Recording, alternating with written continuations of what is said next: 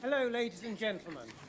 Welcome all to the Christmas meeting of the British Astronomical Association. Welcome to all those here in the lecture theatre of the Institute of Physics near King's Cross Station in London, and welcome to our viewers on our uh, YouTube live stream. Uh, this is uh,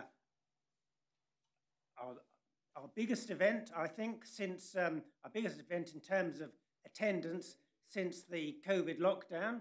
Uh, we have had about uh, 90 people booked today, and uh, we've got some excellent speakers for you today. Although we do have a change of program, uh, the, the advertised uh, first uh, speaker, Mr. Mackay, couldn't, was ill actually, so we hope to give you his talk on the controversies in astronomy some other time, but um, luckily one of my colleagues on the BAA Council, Tim Parsons, has stepped in and will give us a, a talk on a completely different subject, but it, it will um, it, it, should um, fit in nicely.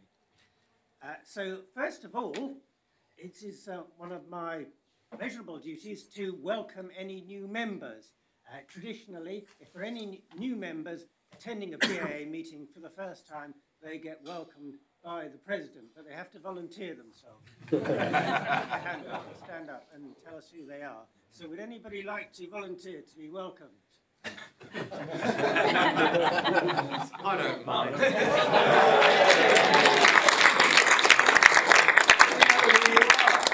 I'm, I'm uh, John Archer from uh, Crayford, probably the worst astronomer in the group, and uh, uh for, my, for my sins, the current chair. So thank you. Thank you. Uh, well, it's lovely to have you, John, and uh, hope you, hope you have um, many happy, happy times with us. so,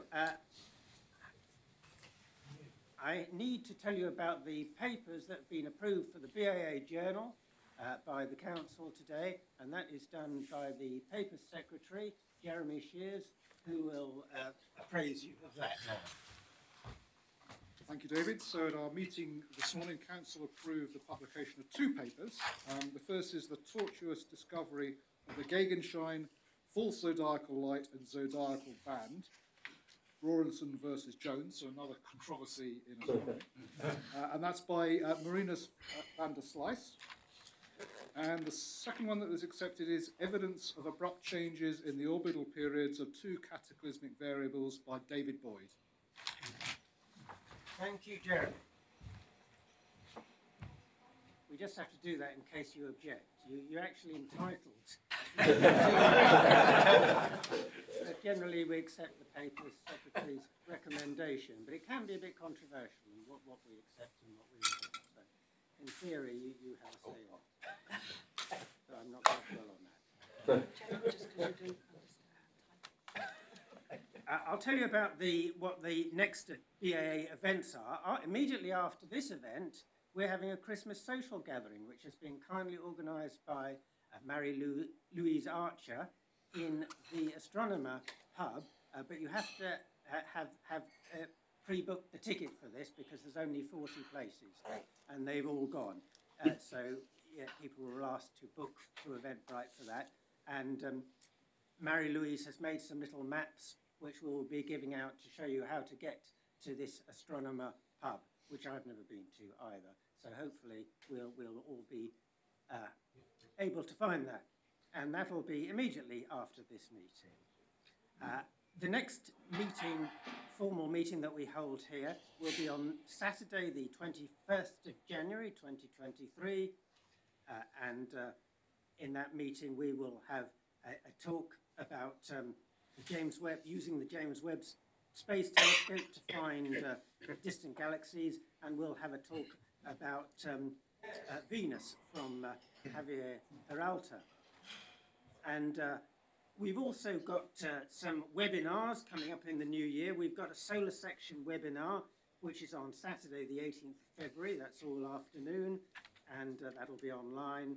And uh, in March, uh, on Wednesday, the 1st of March, we'll have a, a webinar about analysis of Jupiter's atmosphere. organised by the Jupiter section, and you can uh, find out find all the details of those obviously on the BAA website.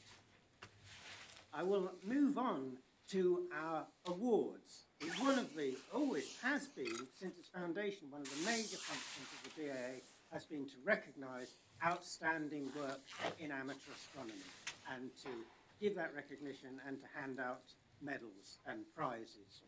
Sometimes they're, they're money prizes, sometimes they're book tokens, sometimes they're medals. And I have quite a few medals to give out today because some of these medals were awarded during the lockdown period and the recipients have never been able to come here to get ceremonially presented by the, the president. So, first of all, I will uh, tell you about Bill Leatherbarrow. Uh, Bill Leatherbarrow was nominated in 2020 for the Goodacre Medal, which is the senior and most prestigious medal of the association, uh, which is awarded for significant contribution to astronomy, generally for a lifetime's work. Uh, he, uh, Bill, joined the BAA in 1965. He's been contributing to the lunar and planetary sections ever since. He administered, helped to administer the Mercury and Venus section in the past, and he became director of the lunar section in 2009.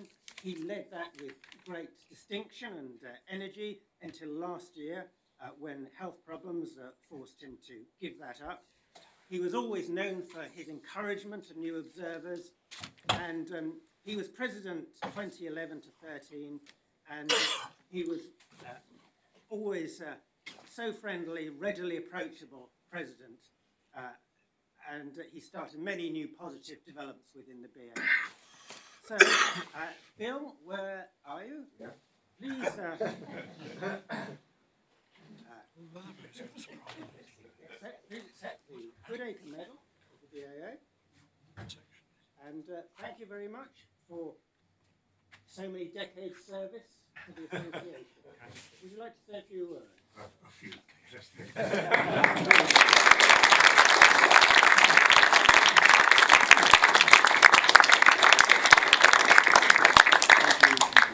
Uh, this means an enormous amount to me. Um, I'm aware of the fact that uh, this award has gone to so many of the giants of British amateur astronomy over, over many, many years, and I feel very proud and rather bemused to find myself in their company, although certainly not in their league.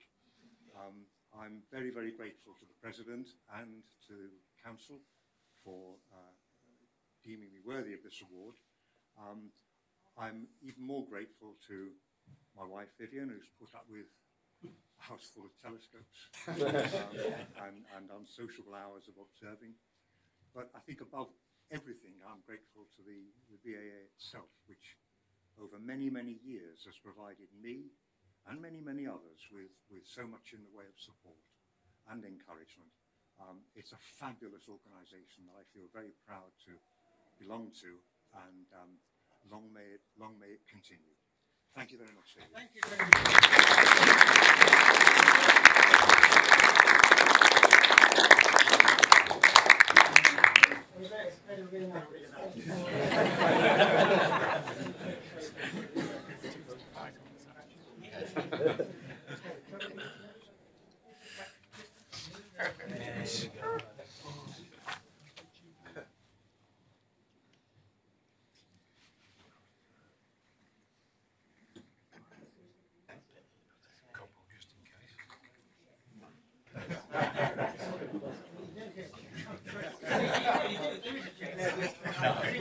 I'll leave that to the treasurer. 'cause it's all- Right.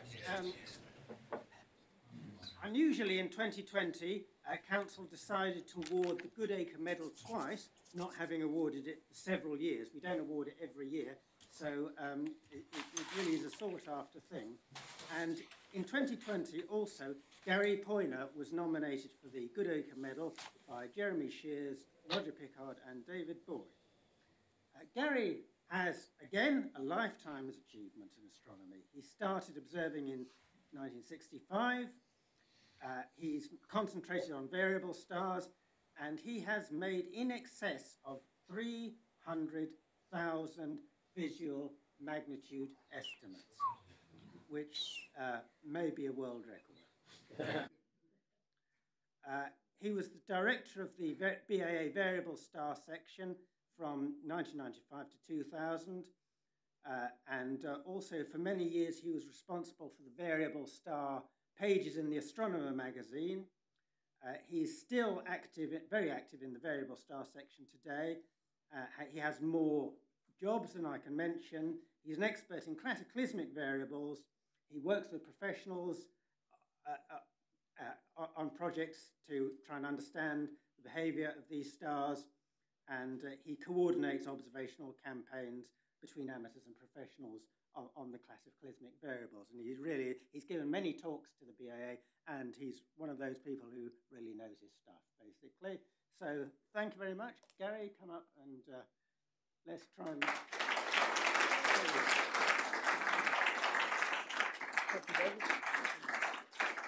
Say, a few words. Say a few words. Thank you very much. Well, thank you very much, uh, Mr. President, and uh, the Council for um, awarding me this medal. Um, Bill has actually stolen my speech. I wonder what he was doing with his hands in my pocket earlier, because everything Bill has said, I wanted to say. Um, so um, I'll say, say this very quickly, that the last 50 odd years, variable stars and the BAA have been my life, really. Um, you, have only got to ask my wife that. And uh, if anybody deserves a medal, I think she probably, like you, deserves the medal more than me. Um, so um, I'd like to thank everyone uh, at the council for allowing me to for the Good Acre Medal, and I'd certainly like to thank you for finally getting the presentation. I've had two years to get over the shock, but, but the thrill the thrill of actually winning this medal will last me for the rest of my life. So thank you very much indeed. Thank you.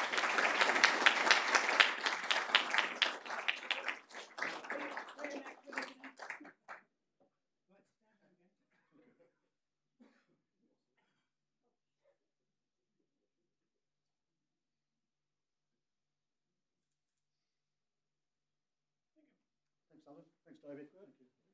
Right.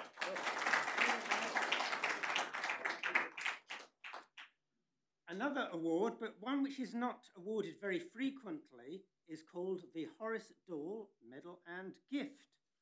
And we've decided uh, this year to award this to a computer expert, computer programmer. Dominic Ford has been a member of the BAA for many years uh, he's been webmaster of the BAA. He designed uh, earlier versions of the BAA website. Uh, the BAA image library, which members use every day on the website, was created by him, and it, it uh, is extremely clever thing, uh, as you'll discover. If you, he will actually um, determine which area of the sky your observation was taken. It will do what we call plate solving. And Dominic has provided this software, world-leading software, to the BAA free, free of charge with a, perpetual right of use license. Dominic has created another website called inthesky.org, which is a free service tool providing a list of upcoming astronomical interests in the sky and planetarium view of the sky. Uh, and uh, the observing calendar on the BAA website that is drawn from Dominic's uh, In the Sky website. Uh, he's uh, take part, taken part in, he's developed other projects. He's got a thing called Pi Gazing, which is a project to triangulate the trajectories of meteors and other objects. Uh, he's got another site called hilltopviews.org.uk, which is an interactive terrain map of the Earth and the Moon. Uh, and he's been important in the BAA in maintaining our technical infrastructure over many years, and he's always ready to provide help and advice uh, and assistance in anything uh, to do with uh, website uh, uh, implementation. The Horace Dall Medal was originally conceived of as being a medal for the builders of astronomical in instruments. Horace Dall, of course, was a famous telescope maker, famous op optician, and inventor of the, the, the Dall-Kirkham Cassegrain type of telescope. But we consider that um, a modern equivalent of this is Dominic's development of software tools uh, for astronomers, and we think he's a worthy recipient of the Horace Dall Medal. So, Dominic, please come and uh, receive your medal.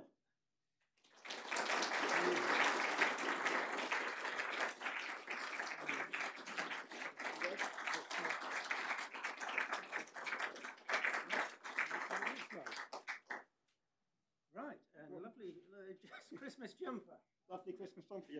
Well, thank you very much for your kind words, Mr. President, and thank you to Council for, for making this award. It's a huge honour, especially looking at the, the people who previously received the BA awards um, to receive this. Um, I would say that working on the BA website has been a huge amount of fun.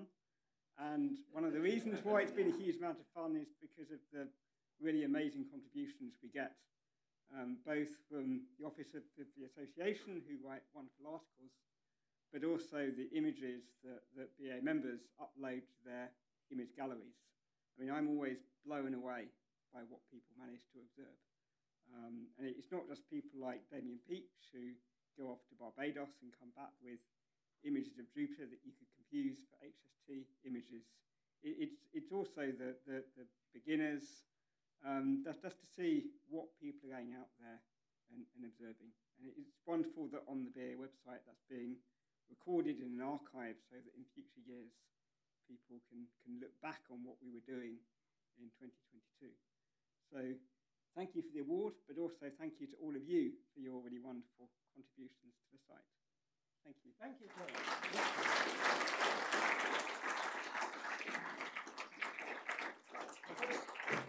also got a certificate for you.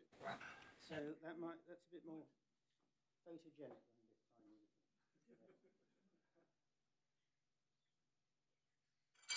this time.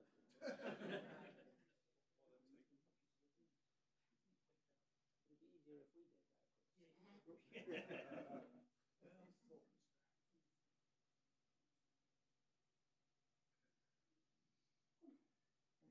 be really cheeky and get them on my phone. It's fine. Oh, I can share it on social media.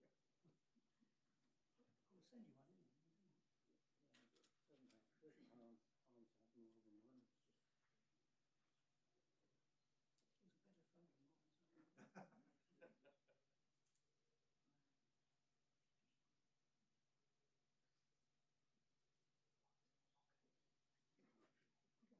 Right, thank you very much, Dominic. Right, there's more.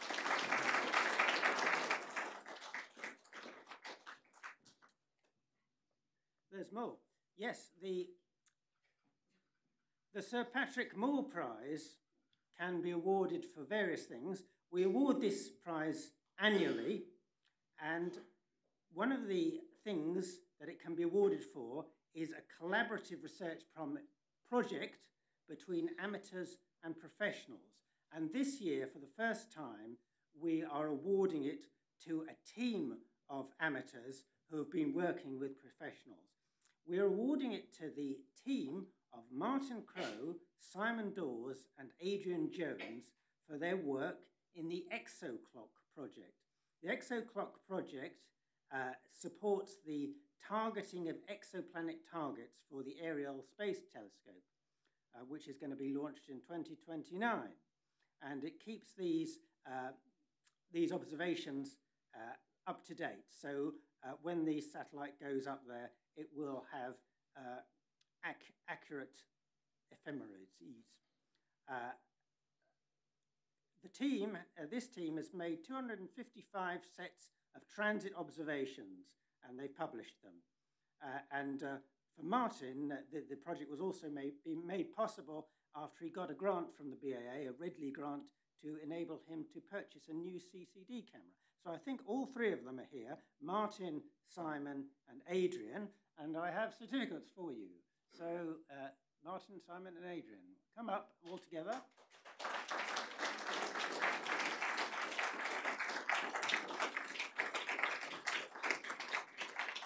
And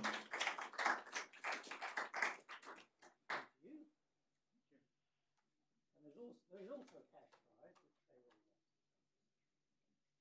Now, would one of you like to say a few words?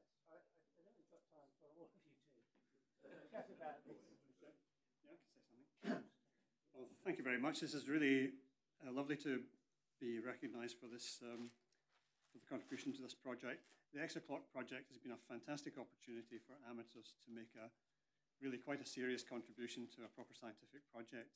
I'd encourage any of you who are keen imagers or doing any of that sort of work to consider turning your hand to doing a bit of science because this is a project where you can really add some value. That's a project that's being managed incredibly well for the observers, as I'm sure the other two will agree. We're well looked after. The information that we're producing, the observations that we're making are all being used. They don't disappear into a black hole, as sometimes happens in these sorts of projects. We're, um, we all feel that we're, we're doing something valuable and get a great deal of satisfaction out of it. So it's very nice to be, to be, uh, for that to be recognised here. Thank you very much. Thank you, thank you, Martin, Simon, and Adrian. Let's take a photograph of us all together. Where should we do this? Right here, down here. You're gonna need a wider angle lens. isn't it?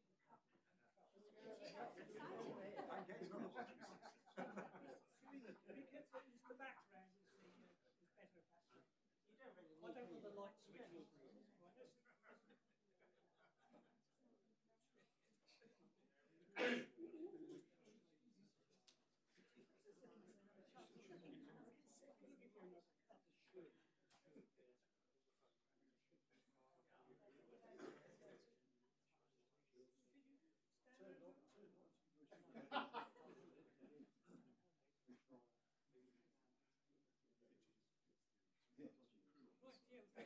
that's-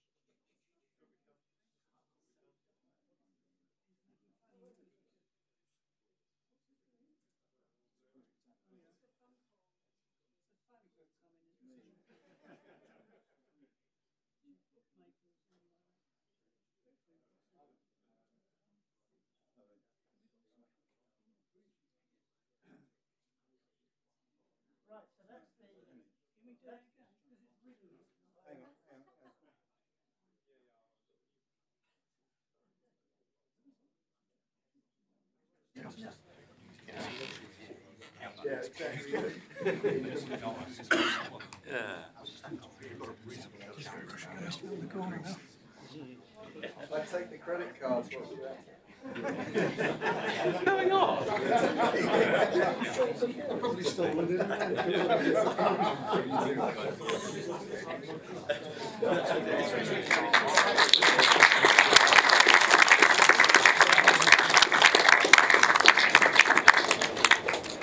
We have one more. We've got a record number of awards this year, but we've got one more. Uh, the, the winner of the Cicely Botley Prize. Now, I have to explain this. Cicely Botley uh, died in 1992. She was a, a much liked, much loved member of the BAA, and she was very well known for her erudite contributions to the journal. And in 1992, the Council of the BAA announced that there would be a Cicely Botley Prize uh, for the best contribution to one of the association's publications. And thereafter, nothing was heard about it, and this prize was never awarded. Uh, research done by um, Martin Mobberley into the life of Cicely Botley Prize brought this facts to life, and Council this year decided that we would actually award the Cicely Botley Prize. And we've decided to award the prize, which incidentally is a £100 book token, this year to John Simpson for his series of journal papers on historic observations of sunspots and aurorae. And his proposals were Mike Frost and Bill Barton of the historical section, and they said that these papers will be regarded as important source material for future researchers and their significant contribution to the journal. So, uh, John is living in France. He can't be with us today, but here he is on the Zoom link. So, perhaps uh, John will be able to say a few words to us. John, Thank you, David. Can you hear me? We can. Good. Thank you. And thanks to all the people who've commented on my papers and encouraged me to keep going. Um, especially uh, thanks to my wife. The, the last three papers were very long, and I'm really grateful to the referee uh, Dr. David Willis at the Rutherford Appleton Laboratory for his diligence in, in going through the papers, and to Philip Jennings, who had the unenviable task of editing them and especially um, checking through more than 600 references. Um, if I may, I'd like to say a couple of words about Cicely Botley. Yes. Um, I came across her work in the 1960s when I saw her first book. Uh, it's called The Air and Its Mysteries, uh, listed as a reference. It was published in 1938 when she was already a fellow of the Royal Meteorological Society, um, and it was priced at eight shillings and sixpence. And here it is. A second book, um, which she published herself, was called Polar Lights in 1947, priced just three shillings post free. And here it is.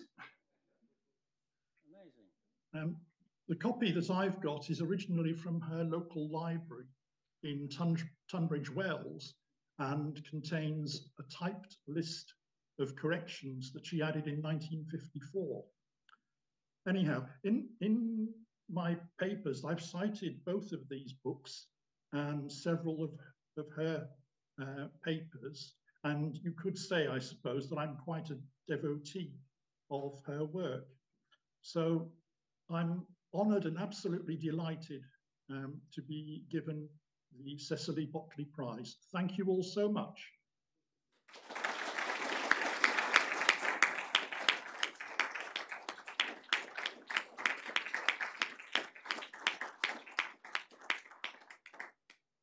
And we've sent John's certificate to him there in France. So thank you very much. It's great that you could join us. And, and thanks to the technical team here for facilitating that. Thank you. So we will come on to our, our main, the first of our main talks for today. As I said, uh, we uh, threw Tim Parsons into this uh, just yesterday, uh, but uh, he's, uh, he's a, a, very well-known figure to many of us. he's had a career as, as, a solicitor for 30 years, but more recently he did the UCL Certificate of Higher Education in Astronomy, and then he did a graduate certificate in mathematics at Birkbeck, University of London, and then an MSc in astrophysics at UCL. He's now a postgraduate student, says mature age postgraduate student. What does it matter? What, what does the age matter? He's a postgraduate student in, in astrophysics at UCL. He's been doing that for a couple of years now. He's working on the structure of stellar winds of B supergiant stars, primarily in the Magellanic Clouds. Uh, in addition to that, he's a, a teaching assistant uh, and a tour guide at the University College London Observatory in Mill Hill. He is also a fellow of the Royal Astronomical Society uh, and the British Interplanetary Society, and he is a trustee of the British Astronomical Association, where he, he works very hard uh, for us on our administrative matters. So he's going to talk to us today uh, uh, about a massive star menagerie touring through the upper reaches of the Hertzsprung-Russell diagram. Tim Parsons.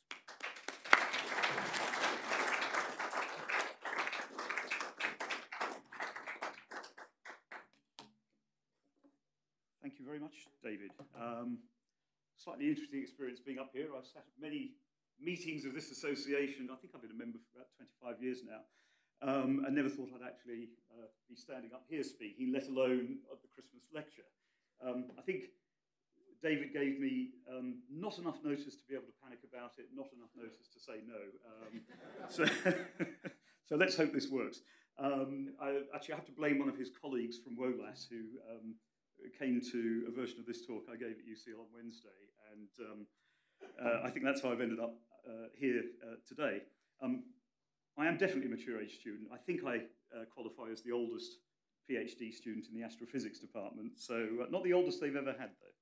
Um, but uh, the BAA has been a big part of encouraging me to go back and study what I really wanted to do in the first place after many years in another career. So, um, yes, I think you were expecting to hear about astronomical controversies. So, uh, what you might have is a controversy after this as to whether Parsons should ever be let out in public again. we'll, we'll, see, we'll see. Let's hope this works. Um, why this? Well, uh, as David said, the um, area that I'm looking at for my PhD research uh, revolves around, um, literally, uh, B supergiant stars. And um, I found myself thinking, when we're all introduced to the Hertzsprung-Russell diagram, um, we tend to learn the basics of it. We tend to learn about colours of stars, temperatures. Most of us, I trust all of us here, have heard of main sequence stars.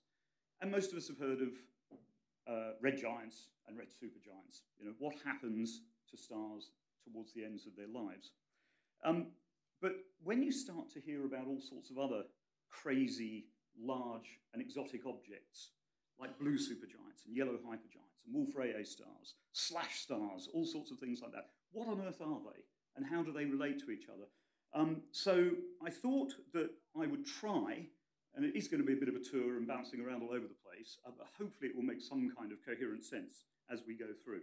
So let's just see if this works now. It does, right. Um, so let's start with the Hertzsprung-Russell diagram. Independently thought of as probably the single most useful tool in stellar physics by the great uh, physicists Einar Hertzsprung and Henry Norris Russell independently, around about 1911. I particularly like this example that I've chosen because um, it gives us two clear and basic aspects of classification. Most of us, I trust, um, are familiar with the basic sequence of, let me, let me, do, let me do that, the basic sequence of colours and how they relate to temperatures. So from the hottest to the coolest, O, B, A, F, G, K, M. And I think we've probably all come across that at various times. And the HR diagram, in its most basic form, plots that against the luminosity, the intrinsic luminosity of the stars. We can add colour and we can add absolute magnitude as a measure of intrinsic luminosity. Um, but what I want you to concentrate on, particularly for this, are these series of magenta coloured lines here. And this is luminosity classification. And it's very, very important because, of course, you can have a star that's way down here, an M dwarf star, but you can also, and it's red, but you can have a red star that's up here, or you can have a red star that's way up here. And what is the difference between them? It's their size, basically. So we're going to concentrate very much up here, the really exciting end. These M dwarfs down here, they sit there, they burn hydrogen really, really slowly, they carry on doing it. Unless they've been eaten by something else, every single red dwarf star ever formed in the history of the universe is still there, just chewing slowly through its hydrogen in its core. So we won't talk about those. We'll talk about things that kind of change and do a bit more over time. Like everything in astronomy and astrophysics, we come up with a classification one, two, three, four, five, and then we find things that don't fit our classification. So we have to add and squeeze things in at the ends. And so what have we done as we found the need to classify the largest stars? We actually now, instead of just one, we have 1b. In between, we have 1a, 1ab, which is not shown there, 1a, and above that, 1a plus, the hypergiants. Sometimes zero, I don't like zero, it's, it's, it's not good in classifications. Um, 1A plus, we'll call them. So let's have a look at some of these type 1 stars. Let's think firstly, what do we, oh, I wanted to say too, at the beginning, this image that turns up here. Um, in the room on Wednesday, I don't think anyone knew where that was. I would expect at least half of you in this room to know where that is, um, but we'll come to it in a minute. Um, what do we mean by size? Do we mean mass? Do we mean radius? Um, it can be all of those things, as I've just mentioned, but when we talk specifically about massive stars, we're talking about stars which begin their life on the main sequence with at least eight solar masses of mass. It makes them and their subsequent evolution fundamentally different to stars below that mass. They're characterized by brief lifetimes. Things happen fast with these stars. You can have, uh, probably all aware, you know, the sun's main sequence lifetime around about 10 billion years, and we're about halfway through it. These stars, we're talking in sometimes a few million years. Things happen very rapidly. Critically, extended nucleosynthesis within the stars. This is where we get the heavier elements from. If we think about the composition of the universe today, we think about the fact that there are planets in the universe, the fact that we are here, all of these things can only have come about because the elements from which they're made have been synthesized within massive stars in previous generations. And again, the fact that the lifetimes are so short means there have been many generations of these stars. These stars are critical in cosmic evolution, in galactic evolution. One thing to remember is that they're very, very, very rare. The stellar initial mass function, which Edwin Salpeter in 1955 first came up describes the distribution of masses of stars. It's very easy to form small stars. It's very difficult to form massive stars. And in fact, we really don't know exactly how the last stages of formation of massive, massive stars takes place. It's actually quite difficult to conceive of a collapsing cloud forming an extremely massive star without the star first switching on and clearing the environment around itself. So there's a lot we still need to learn about that process. Notwithstanding their rarity, they're what we see in the night sky. You look up into the sky, how many M dwarf stars do you see when you look into the sky? None with your own eyes. You might see, I mean, the closest star to us, Proxima Centauri, is an M dwarf. It's not exactly the brightest object in the night sky. So, despite their rarity, um, they're the massive stars are actually the stars that we're familiar with. Their fate is pretty dramatic. In almost all cases, they will end in one of the many forms of core collapse supernova. There are some exceptions to that, which we'll touch on briefly. And as I've said, they're absolutely essential in the processes of synthesizing heavier elements. Does massive mean hot? Well, no, it doesn't. Red supergiants are very cool stars, but they're extremely large, and therefore we see them easily. We'll come on to a couple of famous examples that we all know well. Um, so I just set out very, very briefly here the menagerie, as I've called it. Um, what sorts of massive stars have we got? We do actually have some main sequence stars which exhibit features of um, evolved massive stars, and we'll come to that. Um, as I mentioned, basically, we're talking here about stars which, on the main sequence, have greater than eight solar masses. Red supergiants, I hope we're all at least to some degree familiar with those. But what about yellow supergiants and hypergiants? Blue supergiants, where do they come from? Luminous blue variable stars, Wolf-Rayet stars and stripped helium stars. There are many, many others. I mean, if I put everything up there, all the different classifications, we'd be here all day and, and you'd throw me out very, very quickly. Um, but I just thought I'd touch on some of these in this talk.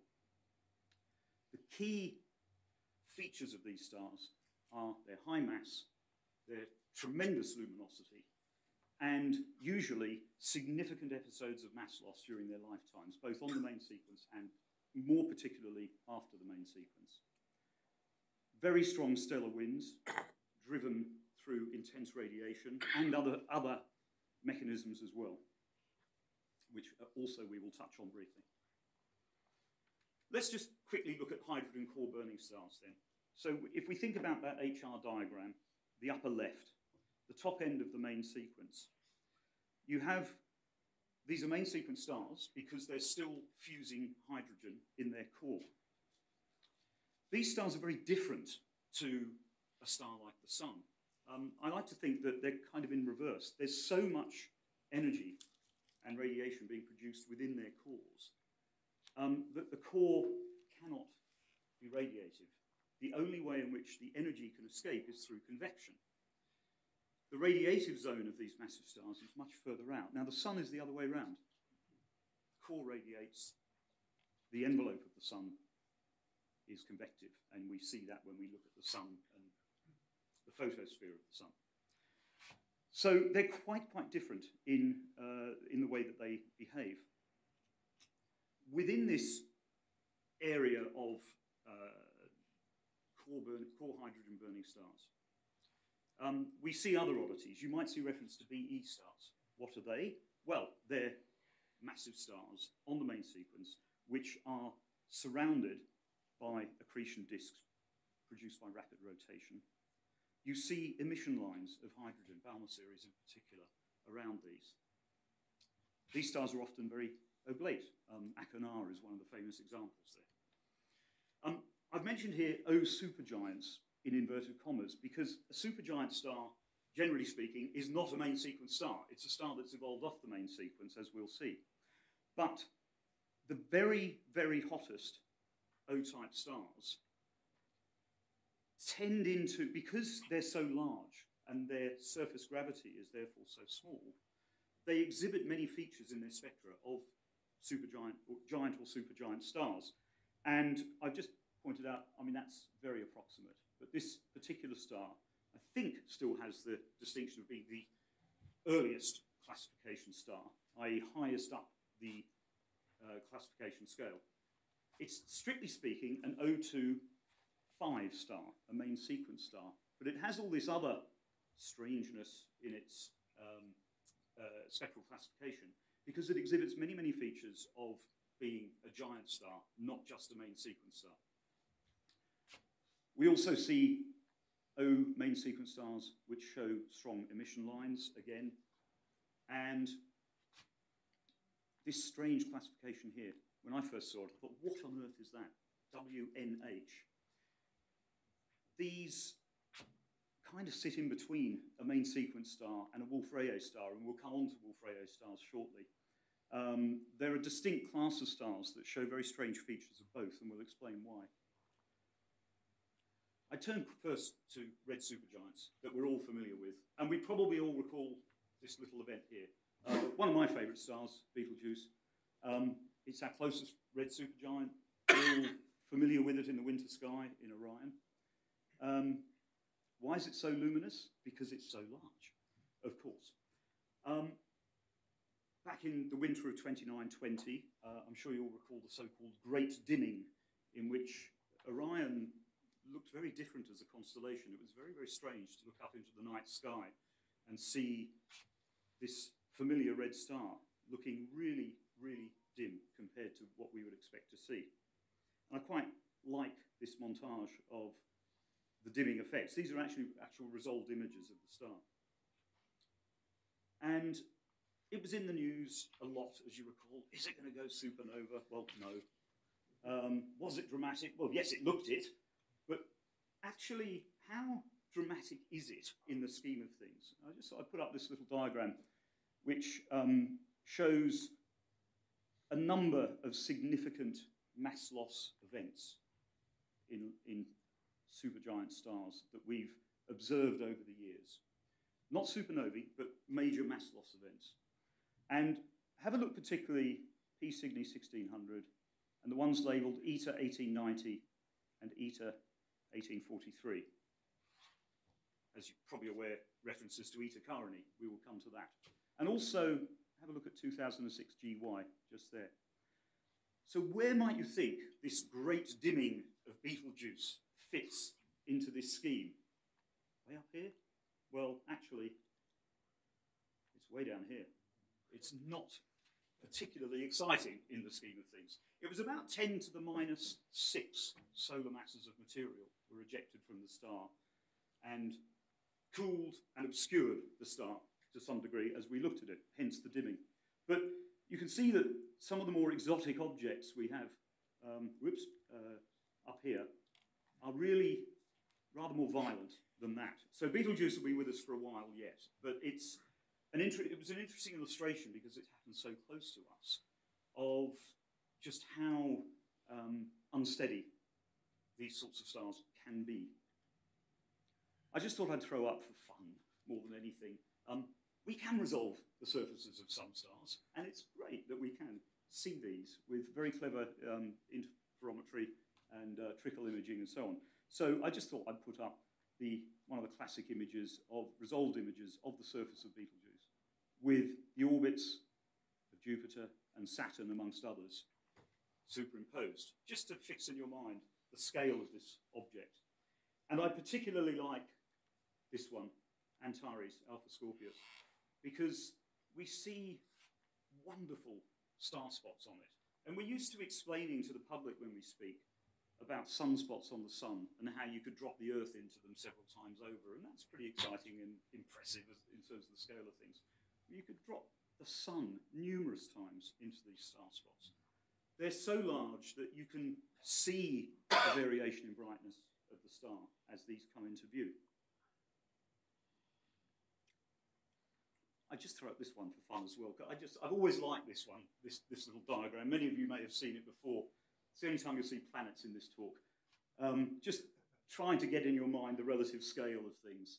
So we start way down here with good old Mercury, Mars, Venus, the Earth, and then we shrink the Earth down, and off we go up towards Jupiter. We shrink it down, a tiny little M dwarf, the Sun, Sirius, we shrink Sirius down, and we keep going. And we get to Antares and Betelgeuse down here. But then we keep going even further. Mu Cephei, VV Cephei, VY Canis Majoris. We're talking here of the order of 1500, 1700 times the radius of the Sun. I just think this, this diagram kind of fixes that in your mind quite nicely.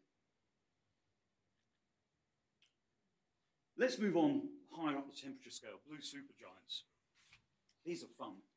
Um, lots happens with these very, very quickly. So we're starting with zero-age main sequence masses, generally 30 to 60 solar masses. So these are big, big stars. They're characterized by very dense winds and substantial mass loss throughout their life, um, and winds which readily exceed the relatively low escape velocity. Remember, again, these stars are huge, so notwithstanding their mass, the surface gravity is very low. The material escapes readily, and the loss of mass is one of the critical things we need to be able to model accurately because it's fundamental to the rate and the way in which these stars evolve through their lifetimes. One of the interesting characteristics of these stars is the profile that we see, particularly in the ultraviolet. And obviously, this is something that has developed with um, spaceborne instrumentation and so on. In the ultraviolet, you have a number of um, resonance line profiles. So these are uh, transitions of ions to or from their ground state. They produce very distinctive profiles in the spectrum, which are driven by the wind, the stellar wind of the star. We can use the shape of this to diagnose all sorts of things that are happening there.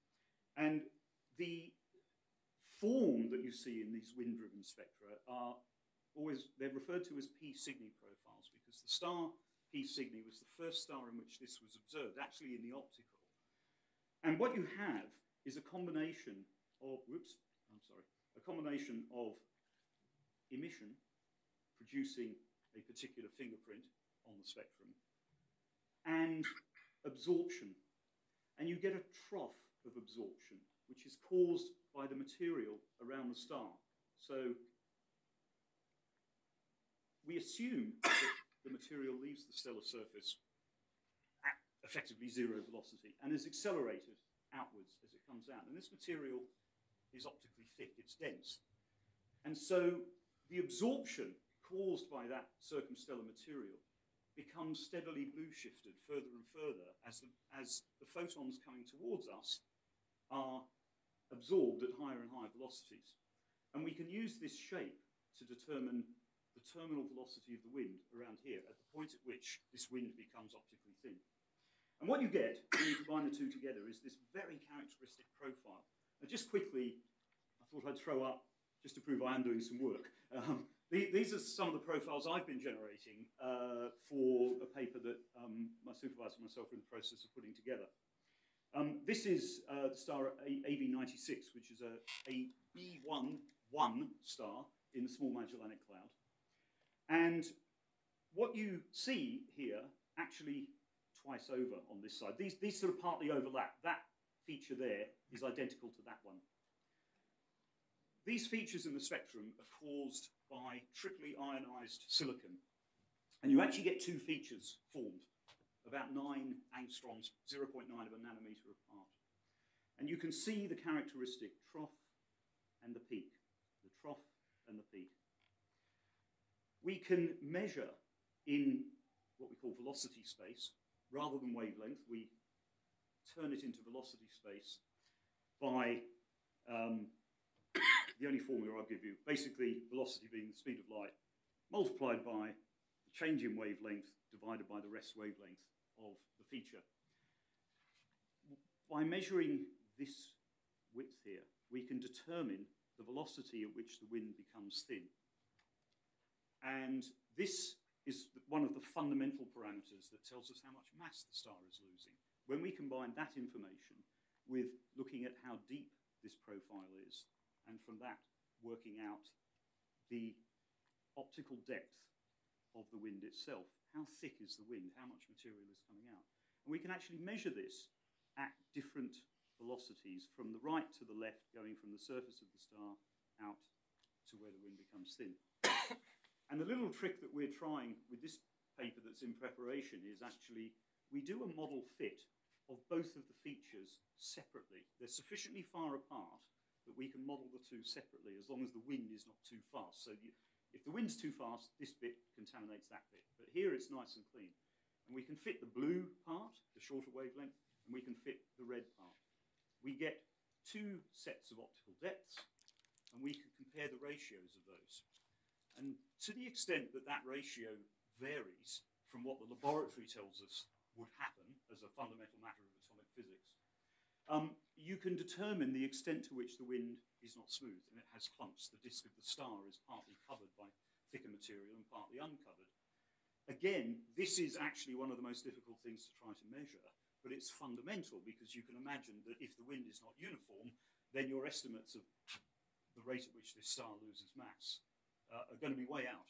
So uh, this is something that is an ongoing investigation.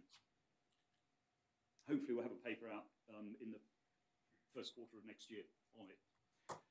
Um, now, how do you get blue supergiants in a more general sense? Well, um, there's kind of two ways in which they can form. They could be the initial form of a star, a very massive star, leaving the main sequence and heading off, if you picture that HR diagram in your mind, you're near the top on the left. It's heading off towards the right as the star expands and begins, the surface of it begins to cool.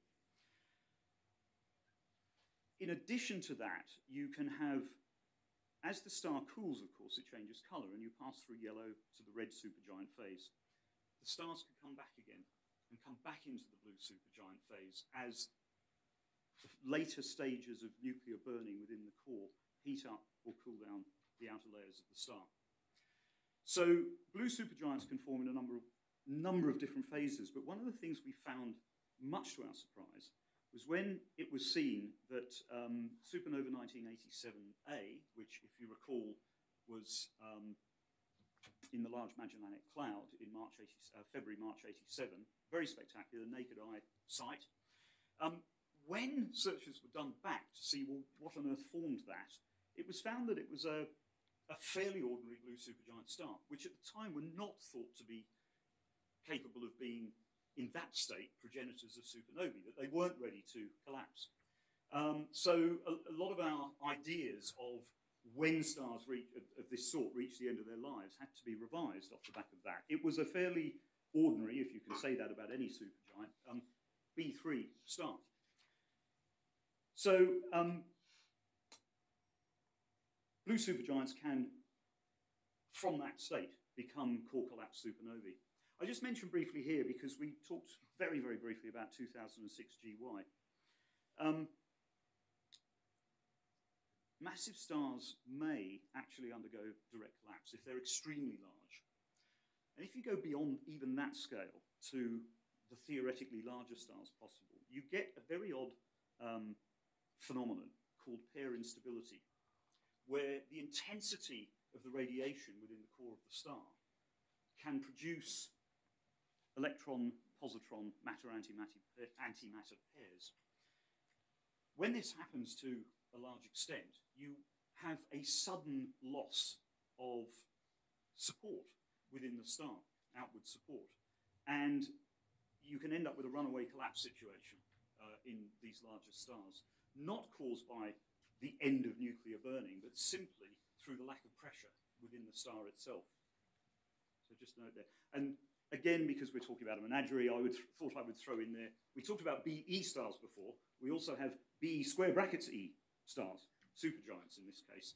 Now, these are similar to the extent that they've got an accretion disk, which is causing emission in the spectrum. But we see forbidden line emission, these transitions in ionic states that shouldn't really occur, but do in certain specified circumstances. Now, to get that, you need extremely low density gas that is nevertheless still ionized. So it's a very particular feature of these. If you see B square brackets E, it's not a typo. It isn't a BE star. It's a BE forbidden line supergiant. These are exciting, luminous blue variables. Um,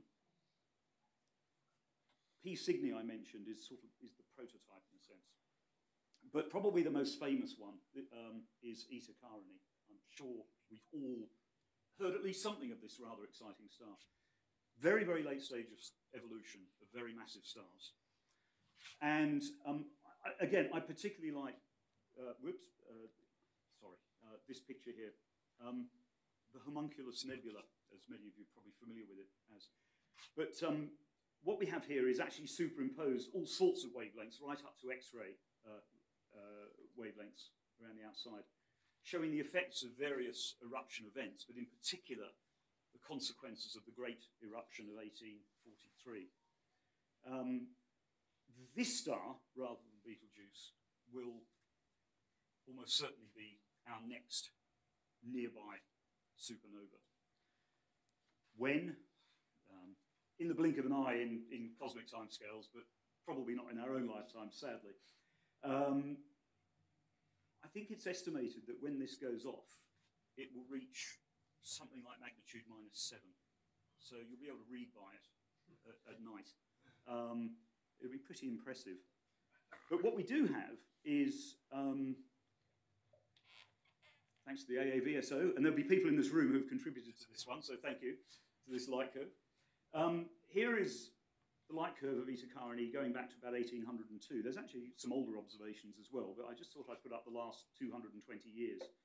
And what you see is early observations, Herschel observations here, the man, not the spacecraft. Um, the Great Eruption of 1843, incredibly bright, minus one. It became the second brightest star in the night sky. For quite some period of time. Dims right down again, and then another outburst in 1890, very significant again. And what we see over the last 80 years is this steady increase again in its brightness. So a lot is happening there. Will we see another great eruption? Um, probably, before it actually becomes a supernova.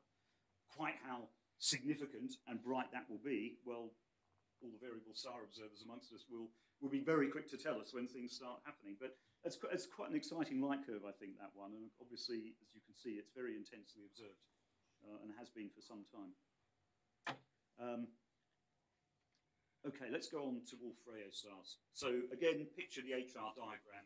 We're now very much over to the left-hand side, the upper left. Um, we had a problem for a long time about how on earth do you form Wolf-Rayet stars. In principle, if you have a single star, you need extreme mass loss. These stars are characterized by not having hydrogen in their spectra. You need, the, the thinking was that you've lost the envelope of the star and the inner layers are, exposed. So any hydrogen that was there has. To do that, you would need a lot of mass in the star to create very strong stellar winds through the radiation that the star is putting out, very fast winds, very dense, and huge amounts of mass loss. And these stars do indeed experience great, a great deal of mass loss. it can be an entire solar mass over a period of tens of thousands of years, which is a lot. Um, first discovered through their characteristic spectra at Paris Observatory in 1867 by Charles Wolf and Georges Rayet. Um, now, what we see are highly ionized states of heavier elements. The envelope has been stripped. How on earth does this occur? We see stripped helium stars, as I mentioned there, at various masses, but these stars are very large. Um, I'll come on in just a second to other ways in which they form, but the basic theory was precisely as outlined, that you have a star losing vast amounts of its mass through very powerful stellar winds. We get oddities. I mentioned slash stars before, fantastic name. Um, these are basically, again, this strange, very, very upper end of the main sequence um, and evolving off the main sequence, where you start to see stars that exhibit characteristics both of, if you like, more traditional O-type hot stars, but also of Wolf-Rayet stars. So there might be hydrogen in the spectrum, there might be far less than you would expect, but you also see emission lines, broadened emission lines from heavier elements. We classify Wolf-Rayet stars basically by the predominant feature in the spectrum, so either nitrogen, carbon, oxygen. And that's basically increasing order of mass and temperature. The WO stars are the most extreme. You see very significant features of quintuply ionized oxygen there, which takes an awful lot of energy to do. Is this single star model complete? Well, the answer, I wouldn't ask the question, will I? The answer is no. Um, so let's look at one particular star. I talked about WNH stars before, and this one's a particular favourite. Uh, Paul Crowther, who used to be at UCL, is now at Sheffield, um, was probably one of the leading people in investigating this star. And I asked at the beginning if people recognised where we were. Maybe by telling you where this particular star is, it might give it away. But this is 30 Doradus in the Tarantula Nebula in the LMC. Astonishingly intense area, intensely populated area of massive stars. You've got a huge number of stars in excess of 100 solar masses there. I mean, these are really at the extreme end of things. And the most extreme end of it really is R136A1. Um, it is thought to be one of the most massive stars in the present day universe. Um, by rights, it kind of shouldn't really exist. Um, it, it, should sort of blow itself apart um, because the amount of radiation it's producing. But it's in a special environment. It's in one of the it's in the Large Magellanic Cloud. The metallicity of that environment, the presence of elements heavier than hydrogen and helium, is much lower than here in the Milky Way. This helps the formation and the, the ability of very massive stars not to blow themselves apart. Uh, rotation can play a part as well. So the WNH star is basically, um, the WN part of the classification tells us that we see strong ionized, triply ionized nitrogen emission. But we do see hydrogen in the spectrum. Um, they're described as sort of O stars on steroids. So they come into the Wolf-Rayet star classification scheme, but they do have some hydrogen there. They're not completely stripped.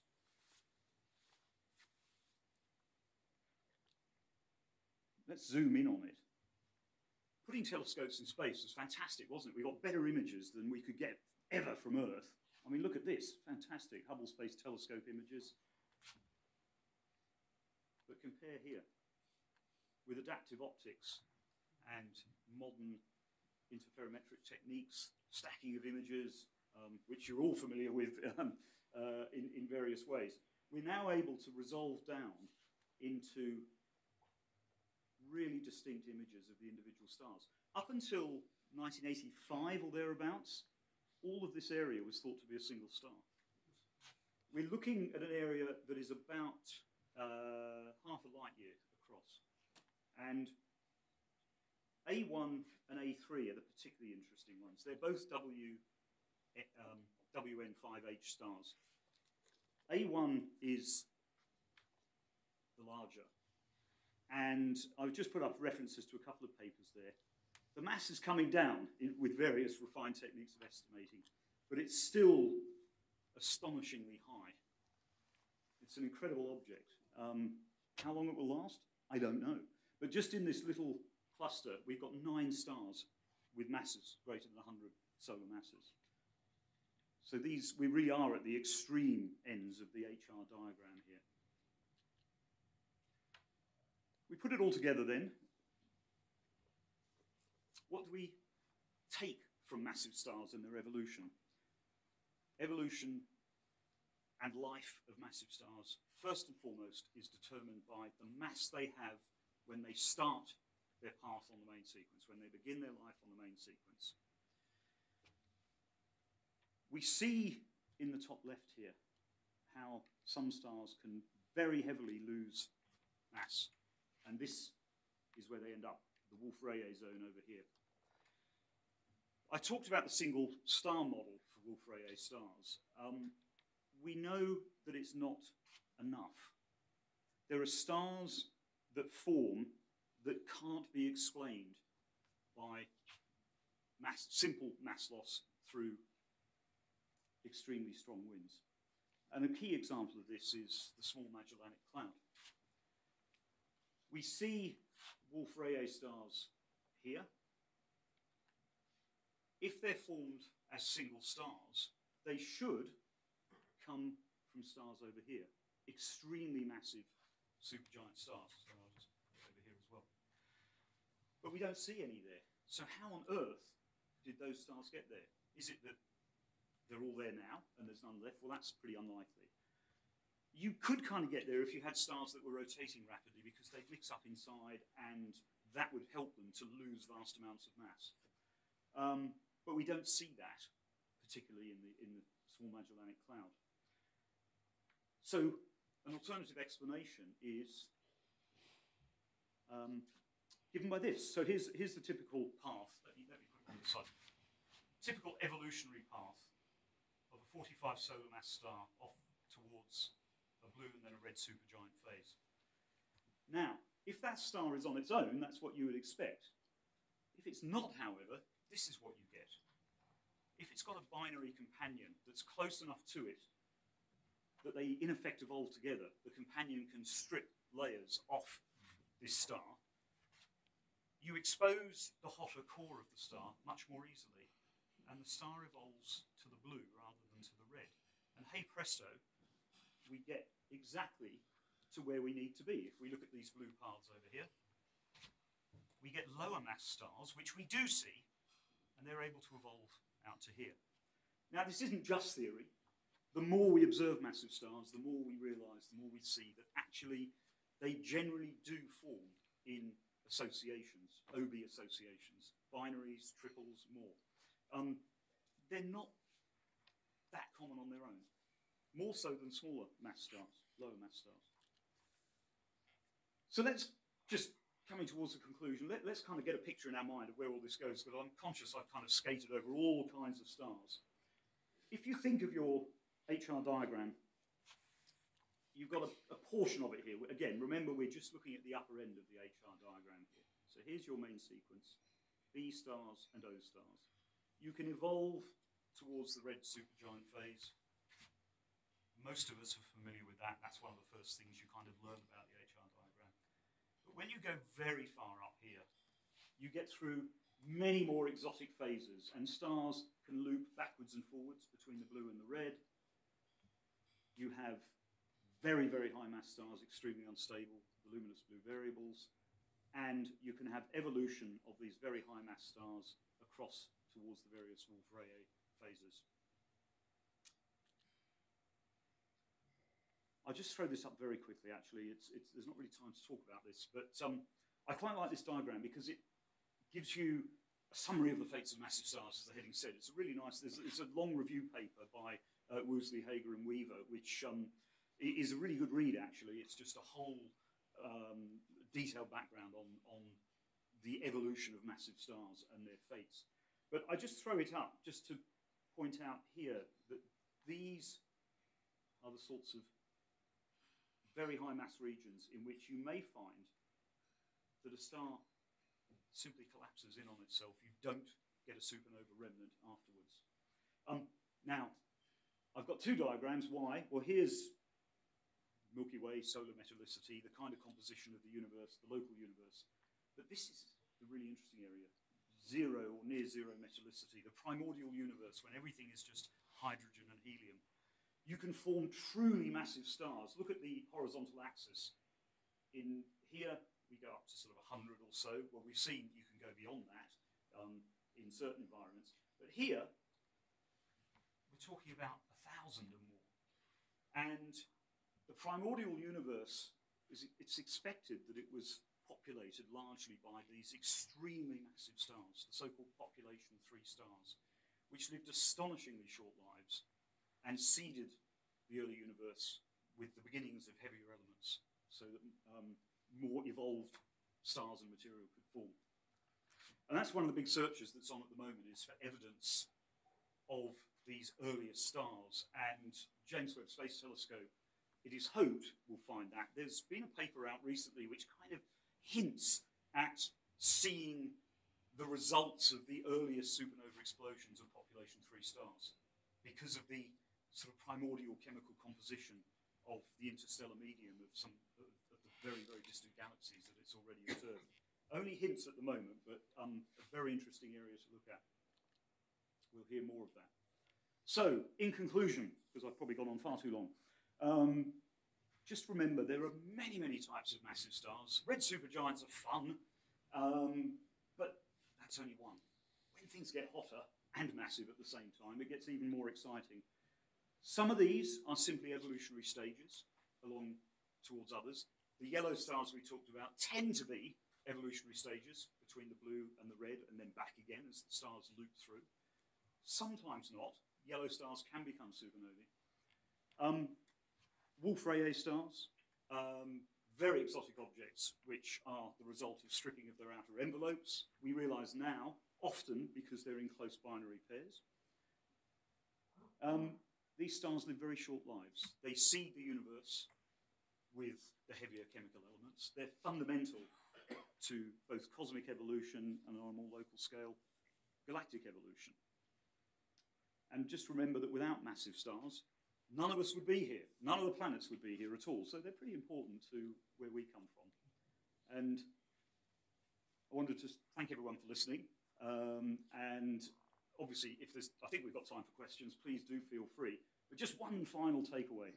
Massive stars are the rock stars of the universe. They live fast, die young, usually spectacularly. A bit like this chap. And I do hope you know who Brian Jones is. Used to play in a band with Mick and Keith and Charlie and Bill. Um, quite a famous band. Anyway, thank you very much indeed.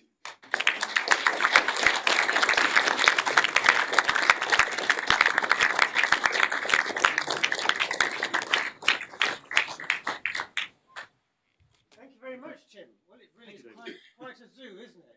and, uh, you've It given was us, the best way I could describe it. Yeah, You've given us a lot of information, a lot of technical terms there. yeah I'll put that down there. Would you like to take any questions? Or is Uh, asking for I'll. I'll, I'll throw myself open to the Any- to the lions. Yeah. Aha. Oh. That's a poor throw. No equations in your slides for me to pick on, so I'll No, that was deliberate. Paul. Um, there was one on my notes, but Fair enough. Fair enough. Uh, uh, uh, perhaps you could explain a little bit why metallicity doesn't inhibit stars from going supernova. Um, if uh, very very good question. So uh, if anyone heard that, um, why metallicity does not? Uh, sorry, Paul. Does not What- stop why the formation of massive stars. Well, there's, there's two aspects. There's that, and there's also why you said it stops them from blowing themselves apart. So, Ah, uh, sorry, yes, um, uh, th- th- they can evolve larger without throwing themselves apart. Um, if you have high metal content, and remember by metals we mean anything that isn't hydrogen and helium. I should have put up the astrophysicists or the stellar physicists periodic table, which is wonderful. It's the same shape as the, as the one you're familiar with, but it's just got hydrogen, helium, and metals. Um, that's, all, that's all you need to know in the universe. That, that, that, that's it. Um, you get effects um, with metals um, where the, um, the atoms and the ions themselves kind of um, are driven by the radiation. So if you think the larger a star becomes, the more intense the light that it's emitting, the shorter wavelengths, the higher energies that the photons that that star is putting out um, will emit. Now, if you've got a lot of, um, if I can call it contaminating material, a lot of heavy material there, um, the photons at high energy levels will drive that material. Uh, it, the, the light imparts momentum to the particles. And it can draw, it literally can you know, pull the star apart. In the, the profiles of the winds that I put up, those two brief diagrams, um, those are what we call line-driven winds. So the particular lines in the spectrum that you see are driving the wind. They're the, the, the, the, the photons are, what's the best way to describe it, pushing the material away from the star. Now, if you don't have that, it's easier for more material to accrete without the star kind of pushing itself apart is the, is the simplest way I can describe it. I, I, I think that's probably the, the most base, uh, straightforward way I can That's a good description. I yeah. thought that was- Um, and metallicity has um, all sorts of other consequences, if you like. But in terms of massive star evolution, the key thing is that it is easier to form very, very large stars if you don't have that contamination there because the material is less likely to be driven away by the energy that the star itself is putting out. So I hope that kind of makes sense. But uh, Nick, this is getting more worrying now. This, so, so you talk about these very massive stars that formed in the early universe uh, because they didn't have these heavier elements, and you say they have very short lives. So, so what stage in the universe did these stars form, and what kind of lives are we talking about? Because I get the impression that kind of not a lot happened for a while, and then suddenly you know you get these huge stars, and then they're gone. Is that? Well, in a sense, yeah. Um, although, um, in terms of numbers of years, the timescales are actually very compressed, and that's, I think, one of the issues more for the cosmologists than me. But it, it seems that the further we look back, we still keep seeing structure. We see galaxies with stars in them. There's a very interesting question about that. Which came first, galaxies or stars? And it might seem like a silly question, but I'll leave you to think about that because we think galaxies came before stars did. Um, it's all tied up with dark matter and structure. But um, uh, the um, so there's a very it, it, it, seems to me at least that there's a very small window left. We, we pretty much fix where the cosmic microwave background radiation is emitted, sort of 380,000 years after the Bang. That's probably more or less 13.8 billion years ago. But we're seeing galaxies, and of course, there's most of you probably seen in the press, you know, all these claims about galaxies being identified in early James Webb uh, imaging um, at higher and higher redshifts, further and further back into the early universe. And it doesn't leave much time for kind of primordial things to form, if you like. Um, but these stars um, would have formed, I mean, it's theoretically possible you could form stars like this in parts of the universe today that remained very pristine. The Small Magellanic Cloud is very pristine. Most dwarf galaxies are because the metals that are produced by supernova explosions tend to be driven out of those galaxies. So dwarf galaxies make great laboratories for studying analogues of the early universe for that reason. Um, but these, uh, Nick, I'd be guessing the numbers, but I, I, when, when you consider that um, stars with masses of, let's, uh, zero-age main sequence masses of sort of 30 to 40 live lives measured in millions, a few millions, or a few tens of millions of years these primordial stars that may have been hundreds of solar masses, um, we, are talking probably in hundreds of thousands of years. I mean, so there is plenty of time for these stars to live, to die, to seed the first, if you like, generation of metals in the universe, and then for slightly less primordial stars, probably at slightly lower masses to form, and so on.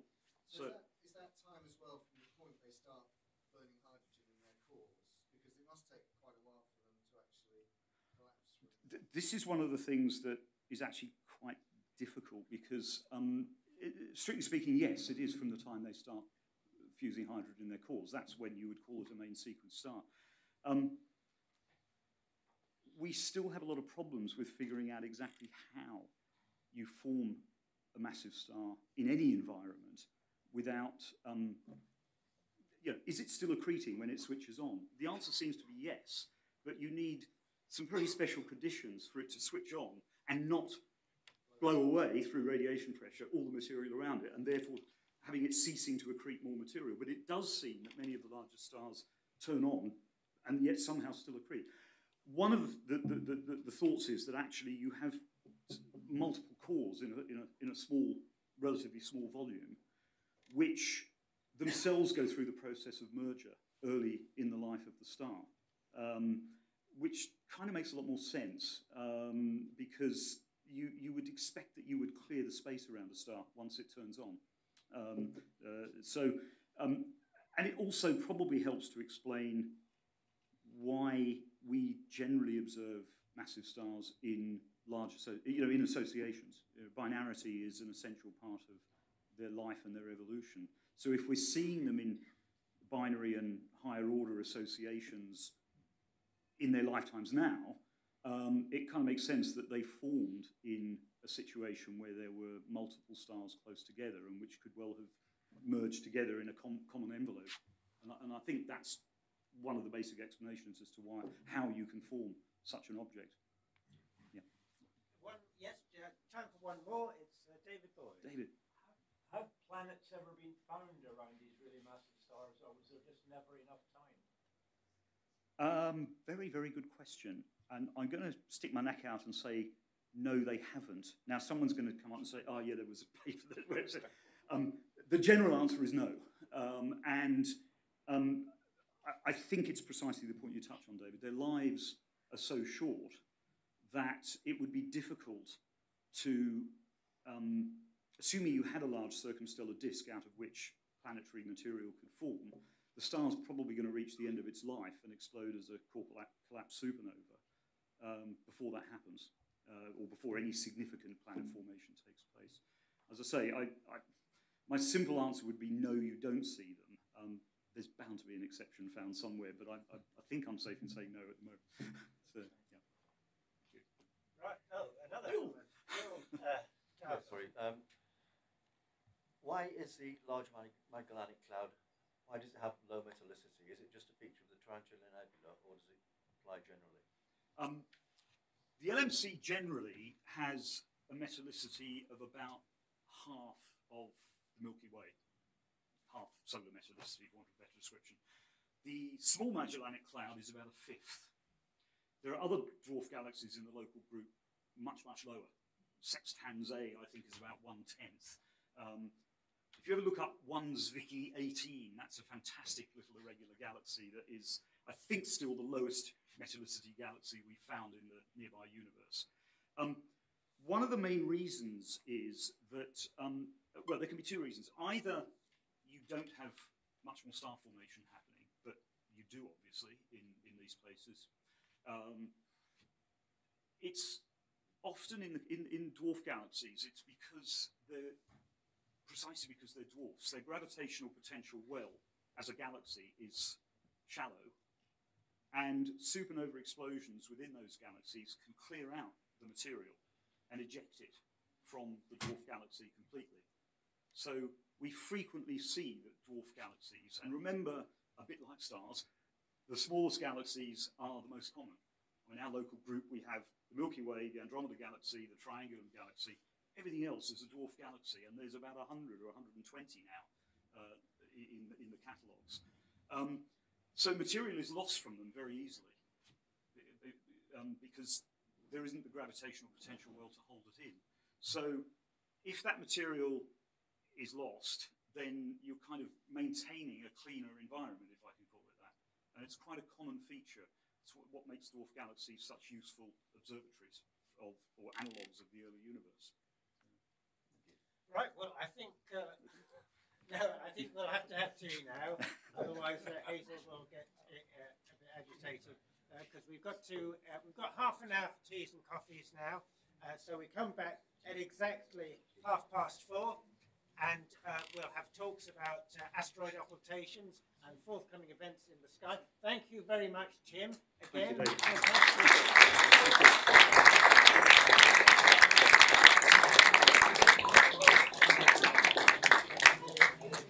We will, uh, we will start the second half of the meeting now. Please sit down.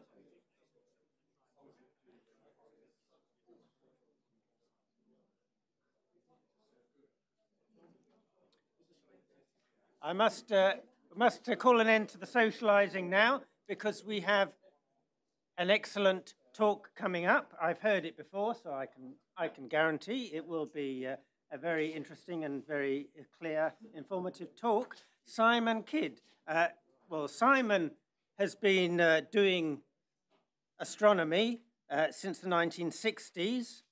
Uh, he used to work for the BBC uh, with cameras and also in training. And uh, his knowledge of cameras came in useful when he started doing planetary imaging, starting out with the Philips webcam uh, back in the uh, back about the, beginning of, of, the 21st century. Uh, in more recent years, he's been concentrating on asteroid occultations, and he's completed 450 observations of, uh, of this phenomenon which he is now going to explain all the, all the, all the basics and um, try and encourage you to take up this very useful branch of research that amateurs can contribute to and create a useful body of knowledge about the minor bodies of the solar system. So, Simon Kidd. Thanks very much, David. Thank you. Thanks for that. Okay, we'll get going. This is about asteroid occultations, indeed, and very much an observer's point of view. And we'll start right at the beginning, just in case you're not familiar with the general uh, geometry of it all. Um, here we are. It's very much like uh, a total solar eclipse, really, but instead of um, the sun, we have a star, and instead of uh, the moon, we have an asteroid. And the asteroid will appear to cut off the light from the star if you're in the right place on the Earth and everything lines up properly. Obviously, this is uh, not to scale. We'd be in dead trouble if it was. Uh, phone call to Bruce Willis, I think, would be in order to try and save us. Um, what about these objects that we're trying to detect by occultations? Where do they all live? Well, as you probably know, uh, a great many of them are in the main asteroid belt uh, outside Mars, but inside Jupiter and an almost equal number, uh, we think, are um, Jupiter Trojans. So they're in the orbit of Jupiter, but preceding and following Jupiter round. Um, and also a lot of objects outside um, the orbit of Neptune. So if we zoom out and look above the solar system, um, the blue objects there are the Kuiper Belt objects. Um, and there are a few Neptune Trojans, not very many according to this, only about nine. And the green dots represent uh, the centaurs, which have a more unpredictable um, orbit uh, because they cross the paths of the main planets. Uh, so you can see that uh, there's, there's, a huge range of um, objects that are detectable, even though a lot of them are, are quite small. Okay, um, I got into this by just happening to see that uh, there was a, an object visible from um, my location. And I thought, well, I have the telescope, I have a laptop, which I mostly use for planetary imaging, actually. I may as well have a go at uh, finding this and uh, seeing if I could see it. And uh, I thought, well, I'll run the, the time as accurately as I can on the laptop, which involved connecting to the internet, which is not really recommended, but I didn't have anything else at the time. And this is what I saw. So I'll run this little video. We're looking at the, the bottom right-hand star, if you can see that. And after a few seconds of observing, it's gone. and about 15 seconds later, I saw that it came. oh no, it's gone forever. Well, that's a turn up. This is, it's back. It's back. Hooray, it did it again. So reliable. Well, um, I was taken aback by this. It was so accurately predicted. And I thought, that's amazing. You know, the dynamic solar system, fantastic. You know, and I thought, well, I'll try and do some more of those uh, because um, they, they, they, were quite spectacular in a way, and I thought it's, it's worth um, contributing um, to the knowledge of these things. Uh, so uh, I proceeded to find out more about it and um, asked the question, what is the point of observing them apart from seeing this dynamic aspect of the solar system? Um, there are quite a few reasons, and one of them is that um, they can actually give a position for the asteroid at the time of occultation, which is really more accurate than anything else. Uh, in fact, for the distant trans-Neptunian objects, um, it's the best way to get fixes accurate enough for a spacecraft rendezvous. So here we are, uh, New Horizons back in uh, 2019. 24 uh, portable scopes were used over a period of time, and the Airborne Observatory, I'm sure you've all seen that, um, the jumbo jet with a telescope on board. Um, and that helped fix the position uh, of this object, which was eventually rendezvoused. 2014 MU69, which was uh, which is now known as Ultima Thule. Um, a very interesting object, obviously two large rocks that have come together to form a contact binary. Uh, up to date, um, at the moment, NASA's Lucy spacecraft is on its way to the Jupiter Trojans. And uh, here is one of the um, asteroids that it will uh, visit, uh, Polymele or Polymele. Um, again, a team of, a large team of people uh, observed occultations uh, to pinpoint uh, the rendezvous position. And as a bonus, they discovered that it had a moon as well. So uh, this will be a very interesting rendezvous when it gets there in 2027, some way off. Uh, these are the seven um, asteroids that Lucy will rendezvous with. I think there are eight now, or possibly even more. Um, the largest of which is about a 150 kilometer sized object. So not a small object by any means, but a lot bigger than the smallest one, which you can hardly see. Um, there is an image of Lucy at the bottom there uh, with a little silhouette for scale. Um, you can see the solar uh, arrays there. One of them hasn't deployed properly as yet, but they're still working on that. But um, there's enough power for the time being to keep it going. So all is not lost. The position and orbit, of course, of uh, NEOs, near-Earth objects, is, is very important um, because of the hazard they represent. Uh, here is a hazardous object. You may have heard of this one, Apophis. Um, for a while, many years ago, this was a rather worrying object. Um, we now know that in 2029 it will not hit the Earth, but it will come very, very close. In fact, it may come within the um, orbits of the geostationary satellites, which is only 20,000 miles or so, I believe. So that, well, you wouldn't want it to be any closer. Um, which leads me to think it wouldn't take much for the orbit to change over that period of time for something else to go wrong. But we are told that this is extremely unlikely now, but that will certainly be a spectacular um, flyby um, if we're still around to. I think there are quite a few more hazardous things at the moment in the world than, uh, than this, to be honest. But anyway, um, What's the point? Yes, the size and the shape of the asteroid can be found. Dealing with the size, first of all, well, because the light from the star is nearly parallel, the parallel rays of light, because it's, it's so distant, the size of the shadow on the Earth, the notional shadow, you can't actually see it, of course, um, does represent the size of the asteroid. Now, of course, if the asteroid's not actually spherical, and a large number of them uh, aren't spherical, it would depend on the uh, orientation of the asteroid as well. Uh, but you can see the general principle there. Um, it's not common to have uh, observers uh, arranged so neatly across the path as that, but uh, you get the idea. Here's a slightly um, more elaborate sort of um, idea here. Um, we have a predicted shadow path going from North America, North America to Africa and five observers. Um, observers A and E are not going to see any occultation.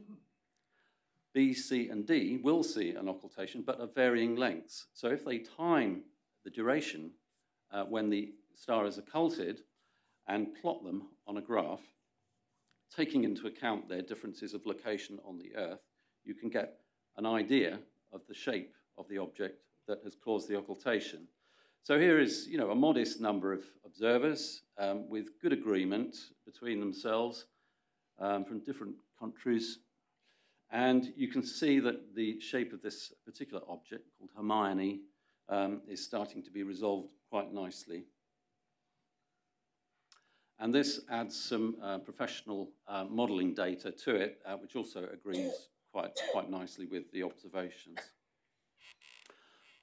Again, going back to the point of observing, there is the possibility of discovering something unusual uh, around the asteroid. Uh, here is uh, an asteroid with a very small moon.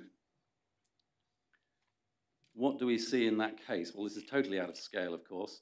a very big asteroid occulting a tiny star.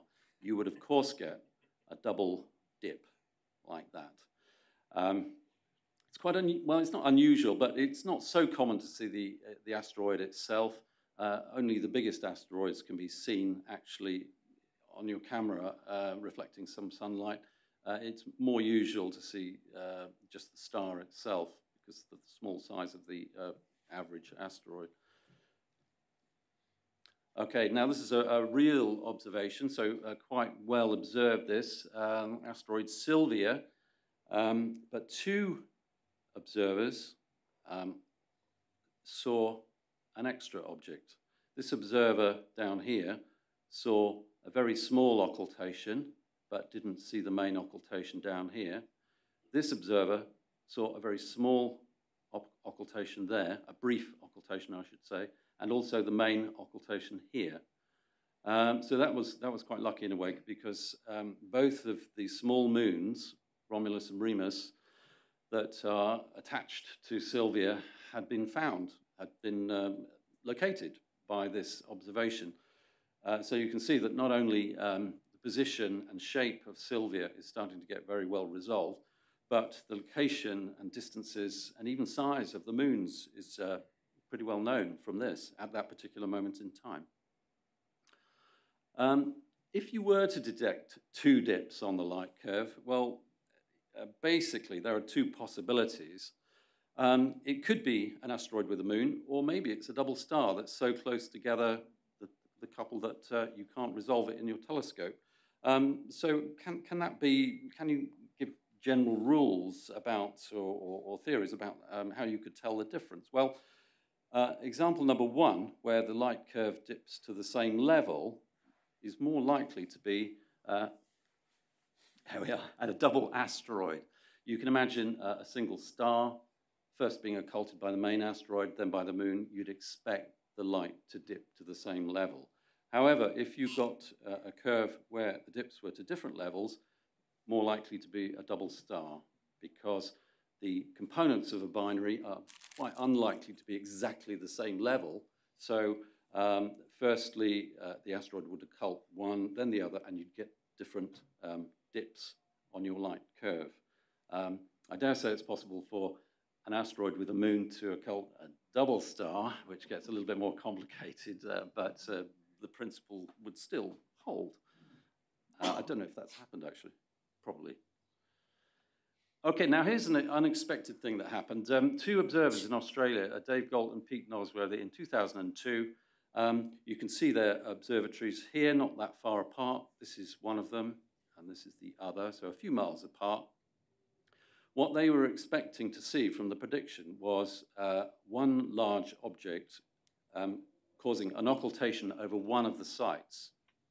Okay, now if I run the video, uh, you'll see actually what happened. Here we go. Um, this is what was predicted. But what actually happened was they both saw an occultation, which is fantastically fortunate, I would say. They're just in the right place to both record an occultation. Now you could say, well, you know, surely ju this just indicates, you know, one really huge asteroid, which it could do, but actually from other observations, from other sources, it has been proven to be two objects. So that was a, a really neat discovery. And uh, they were fortunate, but you know, you make your own luck, don't you? You, you know, you, you try these observations, even though maybe you're not on the predicted path, because you never know quite what's going to happen. So it's very good they did.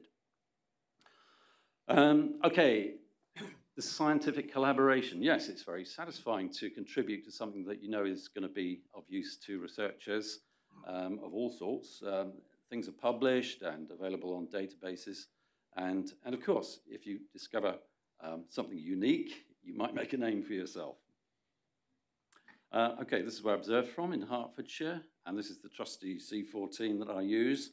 Um, however, nearly as good on brighter stars would be a small telescope. You don't need uh, a massive telescope to observe brighter stars. In fact, I've used uh, a smaller telescope uh, where brighter stars are involved, really because it was more suitable. Um, all it means is you can't observe occultations of uh, very faint stars, that's all. I would say that uh, a tracking um, scope and maybe a go-to does make life an awful lot easier. Um, but uh, in theory, you know, you might already have the equipment that you, you need mostly for observing. Um, what other equipment is needed? Well, you, um, you might say, well, uh, how about a stopwatch? And that is possible to do it with a stopwatch, but I'm not going to re really talk about that because it's not a particularly satisfactory way of doing things anymore. It's not really accurate enough.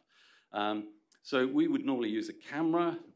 Again, you may already have a, a suitable camera. Uh, a laptop, to record the pictures, basically. Windows 10 is a very good idea. Um, not that many people uh, are still on older operating systems, I, I guess, but the, the, the way that the operating system handles time is much improved on Windows 10 onwards. So that, that, that really is a must-have. Um, capture software. Um, there's a number of really good free um, uh, programs there. Um, I use SharpCap. Um, it's, it's uh, commonly used uh, by observers of occultations. FireCapture is another brilliant um, program, but it's not generally recommended. The emphasis during its development hasn't been placed on timing as much, so it's not quite as consistent as SharpCap. And the formats commonly used, uh, well, SER or ADV fits. Um, very important, of course, for the um, uh, observations to be of value is that the, you have accurate timings and that it's consistent. Um, and your clock really should be running with a millisecond accuracy if possible. Um, and the aim really is for all timings to be a tenth of a second or better. Uh, quite often it is a lot better than that, but where you've got faint stars, of course, you can only run at a certain speed with the camera because you're needing longer exposures. So at its worst, you may only be able to resolve time to a quarter or even half a second. Uh, but it, that could still be a valuable result, though. So we just do our best on that point, really. Uh, camera choices. Well, for a long time, um, analog video cameras were uh, thought of as, as, the, as the best sort of standard, really, especially the Watec type cameras with uh, very good sensitivity, because you can insert the timestamps uh, at the analog level before it gets to any laptop or computer. So it's, it's once you know the, the, the delay involved in doing that, uh, you're always going to have consistent um, timestamps. So, so that's it. They're very sensitive and, and very consistent if set up properly.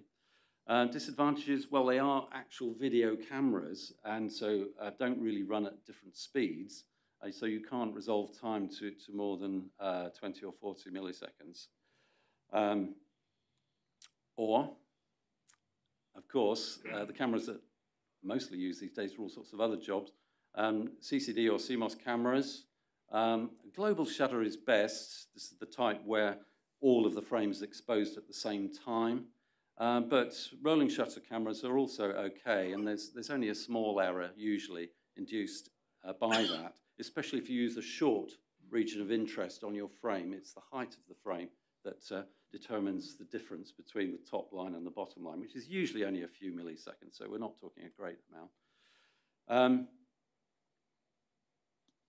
and yes, you can, they're more flexible in, in several ways. Uh, I use binning um, on, on my CMOS camera partly to um, better match the telescope. Uh, C14 really has far too long a focal length to, um, uh, for this work, uh, even with the reducer, and this, this just helps it all match up a lot better. A good, good benefit.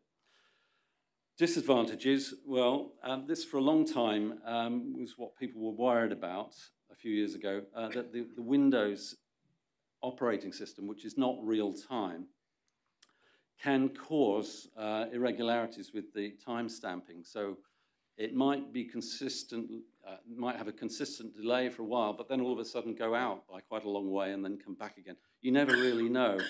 Um, things have improved and you can mitigate that problem um, with care.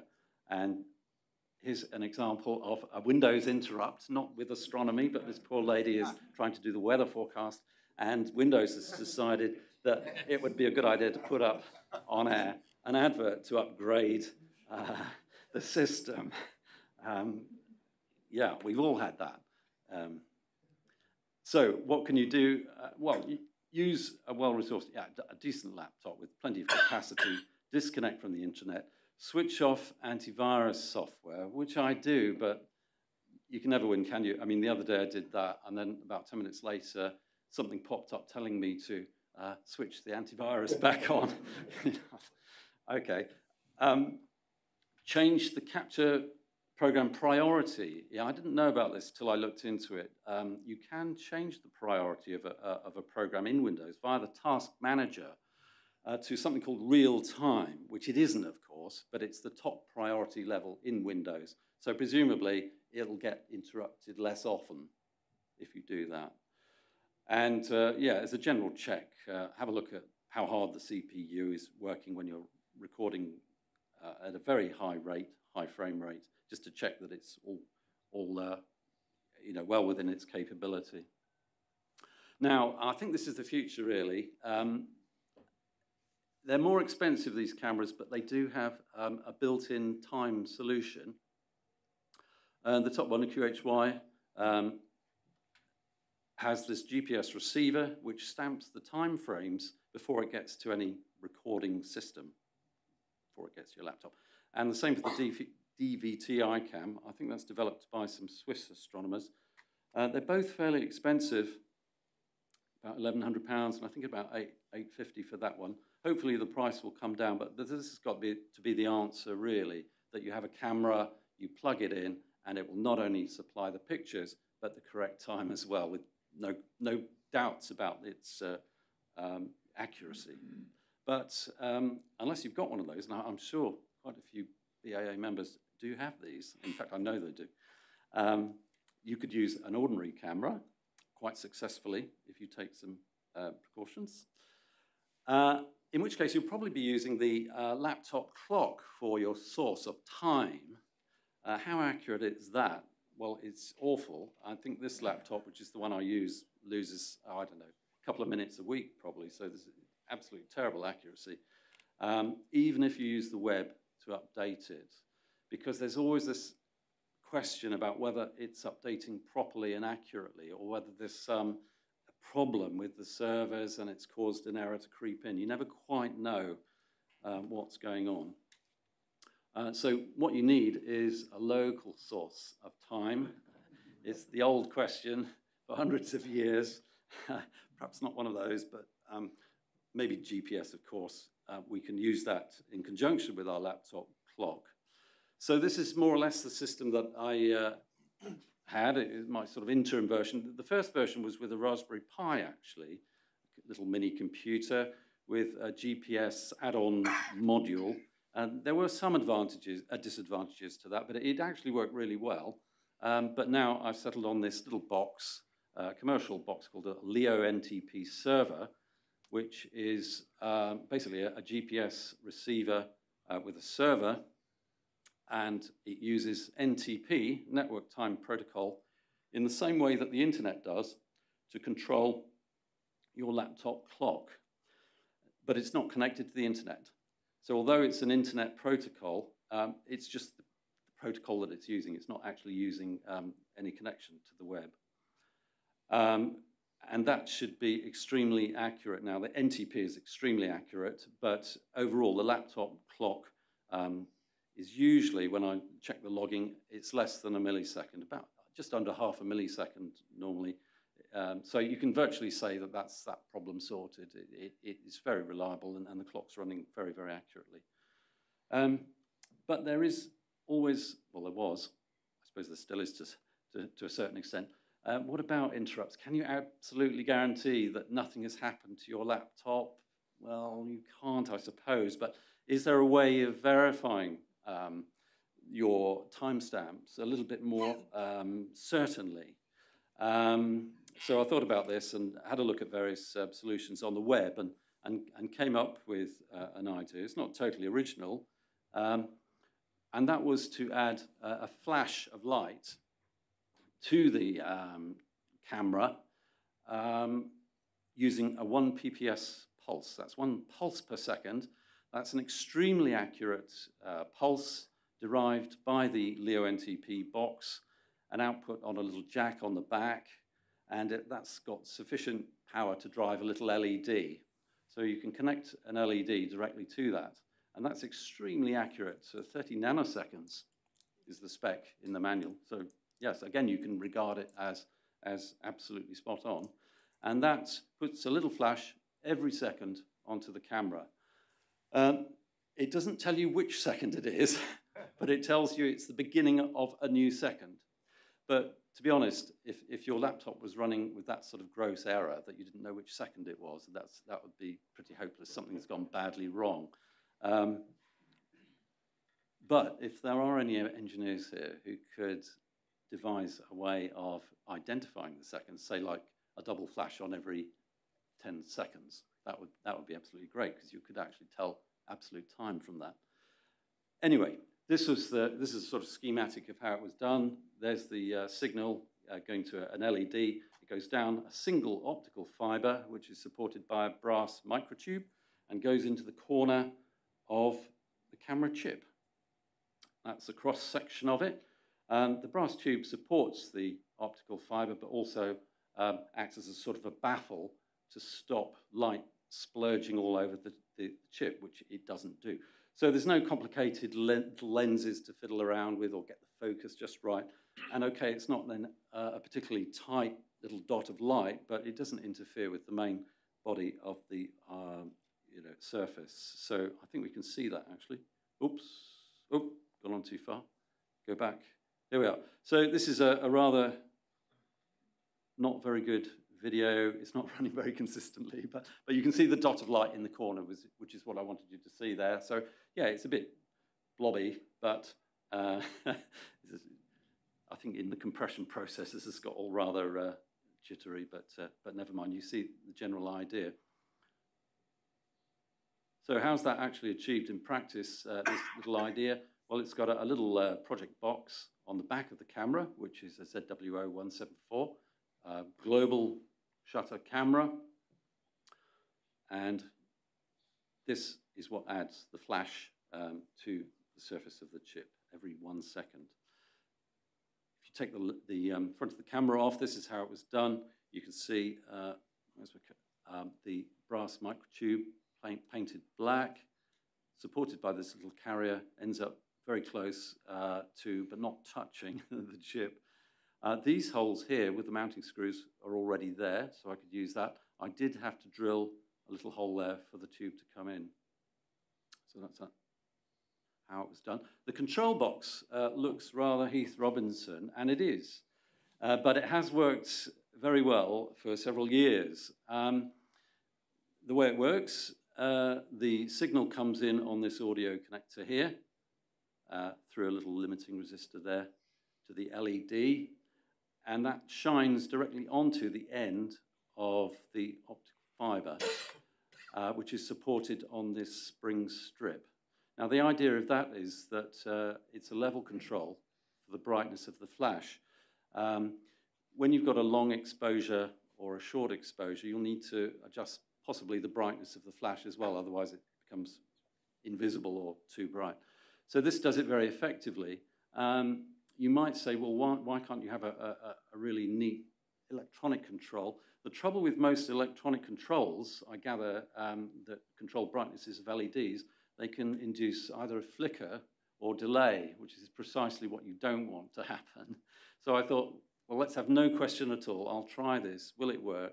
Um, this simple solution, and it does work, and I've stuck with it. It's absolutely fine. Uh, this is the little carrier. Uh, it was originally, originally on a 224 camera. It worked pretty well on that as well. And these are the little components, uh, not very expensive, all available on eBay. And uh, it does go a long way to verifying your timestamps. I always go through the videos once I've recorded and check that the beginning of the flash is on the expected um, frame, taking into account the likely delay that Windows has taken to actually stamp that frame, which is pretty consistent if you use the um, if you use uh, the same ROI and the, the same setup uh, all the time, which I do. So uh, I just uh, put a 16 millisecond uh, correction on it because that's how, how long my computer takes to stamp uh, a frame incoming from the camera. And that seems to always check out. I don't think I've had a failure with that. so it's, it's sort of reassuring, really. Uh, another way of using light to um, time your videos, uh, if you've got a portable setup and you just want um, you know, to use it occasionally, uh, you can get uh, an app called Occult Flash Tag for Android phones, and that will flash the camera flash at a certain logged time before the event and a certain logged time after the event. And you just hold it in front of the telescope and you get a bright flash on the frame, and then you can um, extrapolate those times to work out when your um, event actually happened, uh, which is, sounds great. Uh, the trouble is, it's derived from um, Internet NTP again. So, okay, it's going to be pretty good, but not perhaps ultimate consistency or accuracy. Okay, onto a real um, example. Um, you can see the predicted path there. This is Elektra uh, back in uh, 2018, but there's a reason why I'm going by going so far back in time for this one. This is a good example. Um, there was some knowledge about it before, two moons, uh, non-spherical, and so on, and the composition was uh, kind of known. Here's a not very good picture of it. it looks like a composite thing to me. It doesn't look very good. Um, and again, some uh, professional um, 3D uh, modeling. Um, so uh, quite a bit was known. Uh, the DAMIT modeling stands for that. Don't ask me how that's done, but I just like the sound of it. Um, and here is um, a screenshot of um, from the prediction software that, that tells you also who is going to observe this event. So nine UK observers, there are only six shown for some reason, um, but there were nine in the end. And all these, these black lines, which you can see, represent um, the position laterally of an observer. So you can see that this path is very well covered from side to side. The center line of the prediction is given by this green line here. You can just see that, I think, maybe. And the edges of the prediction are on one side this blue line and this blue line here. And uh, that's me there, I think. And you, you can see that I was actually outside the prediction, but um, I did actually see an occultation. So, you know, just, just goes to show that um, it, it's always worth observing if you're close to one of these things. You never know what's going to happen. But the good thing about this was that the path actually went right across Europe and right down Italy. So there's a huge number of observers potentially able to, to watch um, this event. And even better, the weather was good. So, um, yeah, clear across the whole of Europe. Um, so, a good smattering, I think it's over 50, um, with um, useful sort of outriders here picking up any unusual things. So, what happened? Well, I got my um, custom chart ready. Um, from again, it's just derived from this uh, prediction software, very handy. So that uh, enters a, view, a few personal things, and like the, the field of view of my camera and so on. So handy for finding um, things quickly. And this is what I recorded. I think this is on the 224 actually. But anyway, the star of interest is here. So I'll run this and you'll see that after a few seconds, as before, it's gone. Actually, you can still see it. Well, you can't see the star. This asteroid is big enough that you can see it through directed, uh, reflected sunlight. So you can see it here, and then after a few seconds, it's moved out of the way, and we see the star sort of full level again. So that was the event. Um, the light curve, um, we'll go, move on to those uh, in more detail in a moment, but you can see it, it was represented by this uh, uh, pinkish trace here. Um, so a nice uh, clear-cut um, occultation there. Um, this was one of the guide stars in the frame at the same time, and you can see that that actually was getting brighter as the occultation went on. That's due to cloud, but very useful, in fact essential to have such a star in your frame because you can then use that to normalize your light curve on your target star. So this actually represents the level of the uh, uh, light coming from the object, um, irrespective of what's happening with the clouds. So um, very good for that, this software. Um, the report was uh, filled in. It looks awfully complicated and boring, but uh, a lot of it is pre-filled in with your own details.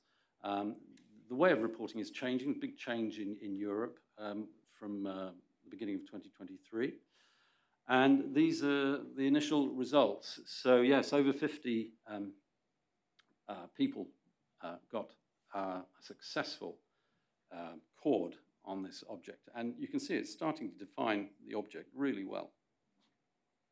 And here is the uh, DAMIT modeling included, uh, and it also fits really well. Now, I'm not sure quite why that's not rotated. It, was, it would obviously fit better if it was rotated clockwise by a small amount.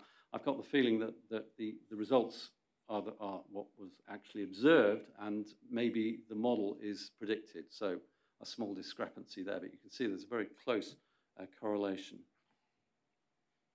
So that, that, was a really good ob observation. Okay, uh, we are lucky with uh, the number of observers and the weather and so on, but uh, it was a really good example of how it can all work, all fit together with uh, uh, professional astronomers.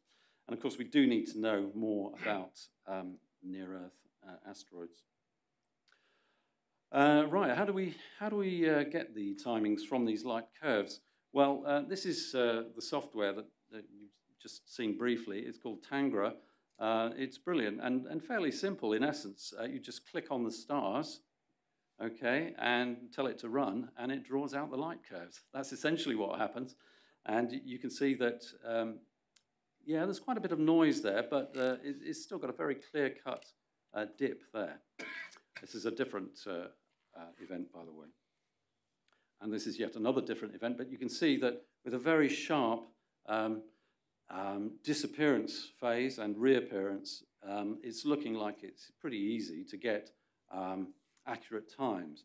But you don't have to work that out by yourself. You just uh, open it up in another program called AOTA, and this will, well, in this case, it's almost completely automatic. It will uh, find the dip and work out the, the possible errors in everything statistically, and give you the final times, which appear in a little box at the bottom.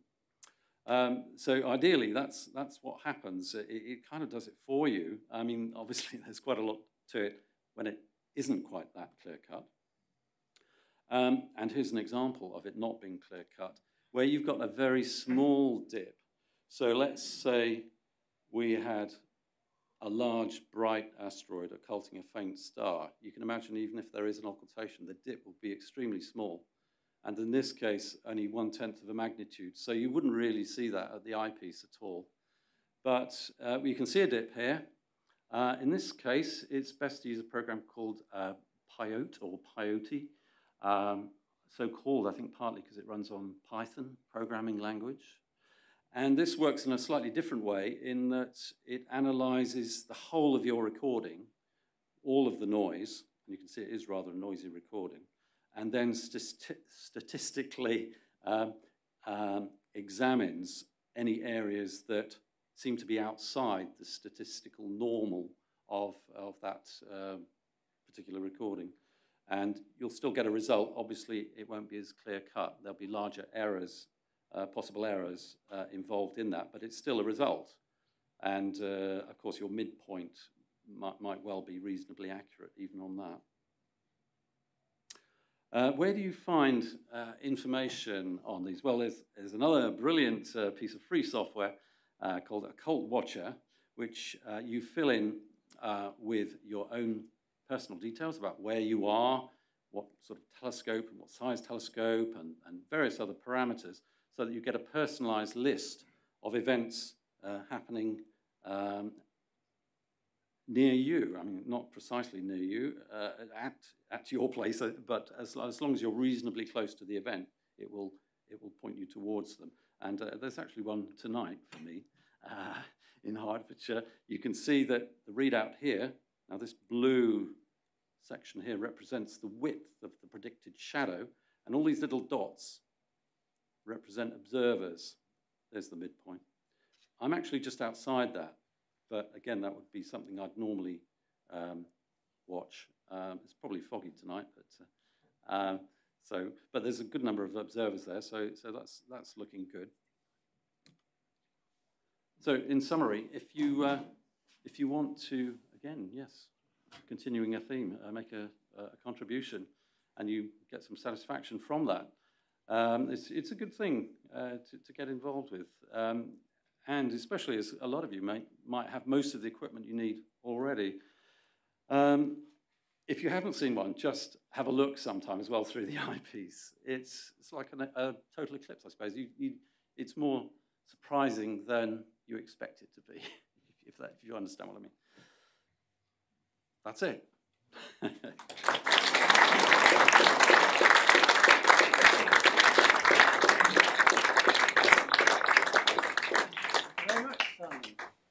we've got time maybe for one question. Any question? Oh, I'll go. I'll, I'll, I'll go for um, John. John. John, Thanks for the talk. Lots of similarities with uh, Exoclock, of course.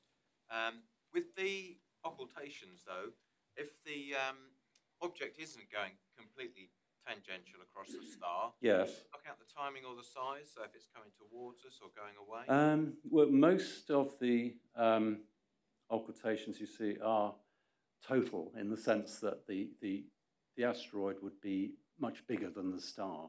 So, but you do see, of course, uh, that the, at the edges of the shadow that the times are, are smaller. So, so yeah, that can be an effect. And it is possible to have a grazing occultation and an annular as well. Some tiny asteroid objects can be, in fact, smaller than the stars that they're going in front of. So it is possible.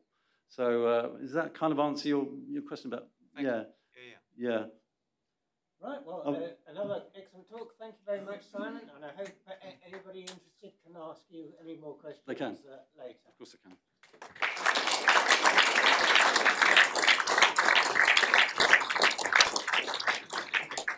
Our final talk for today is uh, our regular look at what's coming up in the sky. And here to present you is that to you is our Comet Section Director, Nick James. Thank you, David. Um, where is the HDMI on this, son? So I've got a, I've got a bumper crop of sky notes for you tonight. Um, so hopefully uh, we'll get through them in, in good time because I know uh, a lot of a lot of you are going to the Astronomer Pub, which is very conveniently situated right by my mainline railway station at Liverpool Street. So uh, very convenient for me. Um, and very easy to get to. Just get to King's Cross, get on the Circle Line, take I think it's four stops to the left, to the east, to uh, Liverpool Street. Come out at Liverpool Street. Make sure you come out the right door, and it's uh, just across the road. But uh, a lot of us are going, so uh, follow us if you need if you need help. Okay, so the Christmas Sky Notes is always the kind of light bit at the end. I think it's been really wonderful. Simon's talk was great, just seeing again what amateurs can do um, really, really good contributions to science. So let's start as we always do with the sun. Uh, the sun has kind of been behaving rather oddly recently. It went through a phase of being really active, then it went through a phase of being not very active at all, and it's kind of now heading back to being slightly active again. So this is the uh, picture from SDO this morning. Uh, a few nice spot groups, and we've had some nice, nice images submitted to the website. This one from James Waitman, taken in hydrogen alpha, showing spot groups and various other features on the sun. And then this wonderful one from Carl Bower on really high resolution, showing spot groups. This is white light, spot groups, and the granulation. Here's another one, another hydrogen alpha showing the sun with some very nice prominences. Just before the last meeting, we had a partial eclipse, and by some kind of miracle, it was actually clear over much of, uh, of the UK. Um, I did a live stream of this on YouTube, and uh, anyone who's ever done this before will know there are lots of very strange people on YouTube, and some of the comments, if anyone watched this, were really entertaining. There was one from somebody who said, Unfortunately, I can't see it because my window's pointing in the wrong direction. Had you thought about going outside? But then I thought maybe they were in prison and you don't really want to be. but anyway, it, lots of people watched this. I think I had about two and a half thousand, three thousand views, which is nothing compared to the Kardashians or something, but was quite impressive for an astronomical event. Uh, if the sun's active, you get aurora, and there's been a whole good number of those. Um, not, while, not long ago, when we had the Elgin meeting, I, I installed a camera up at Dennis's, which allows him to keep an eye on his northern horizon to, uh, to spot aurora before they get too bright. And uh, he's used this quite a lot and goes outside. This wasn't taken with that camera, this was taken with uh, a Sony camera. I think it's a Sony or is it a Canon? It's a Canon 550. But the, um, the little camera he's got on the back of his shed warns him when, when an aurora's around so he can go out and see it.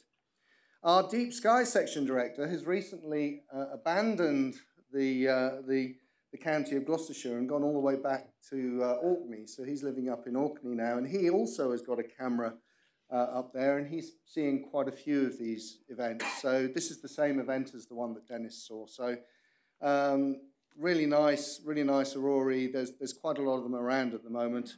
Um, and uh, just keep an eye on the BAA observers pages for these pictures. The, both Callum and Dennis post them quite regularly. The moon, of course, um, this is the uh, this is my kind of list of what's going on with the moon. We are currently just about just after full moon. Um, the next new moon is December 23rd, so there'll be some good dark skies over the Christmas period for those of you who want to do some deep sky or comet observing. And of course, at full moon, in November, we had a lunar eclipse. Um, now, that lunar eclipse wasn't visible from here, uh, but it was visible from New Zealand, where Maurice Collins got this, this lovely view of it.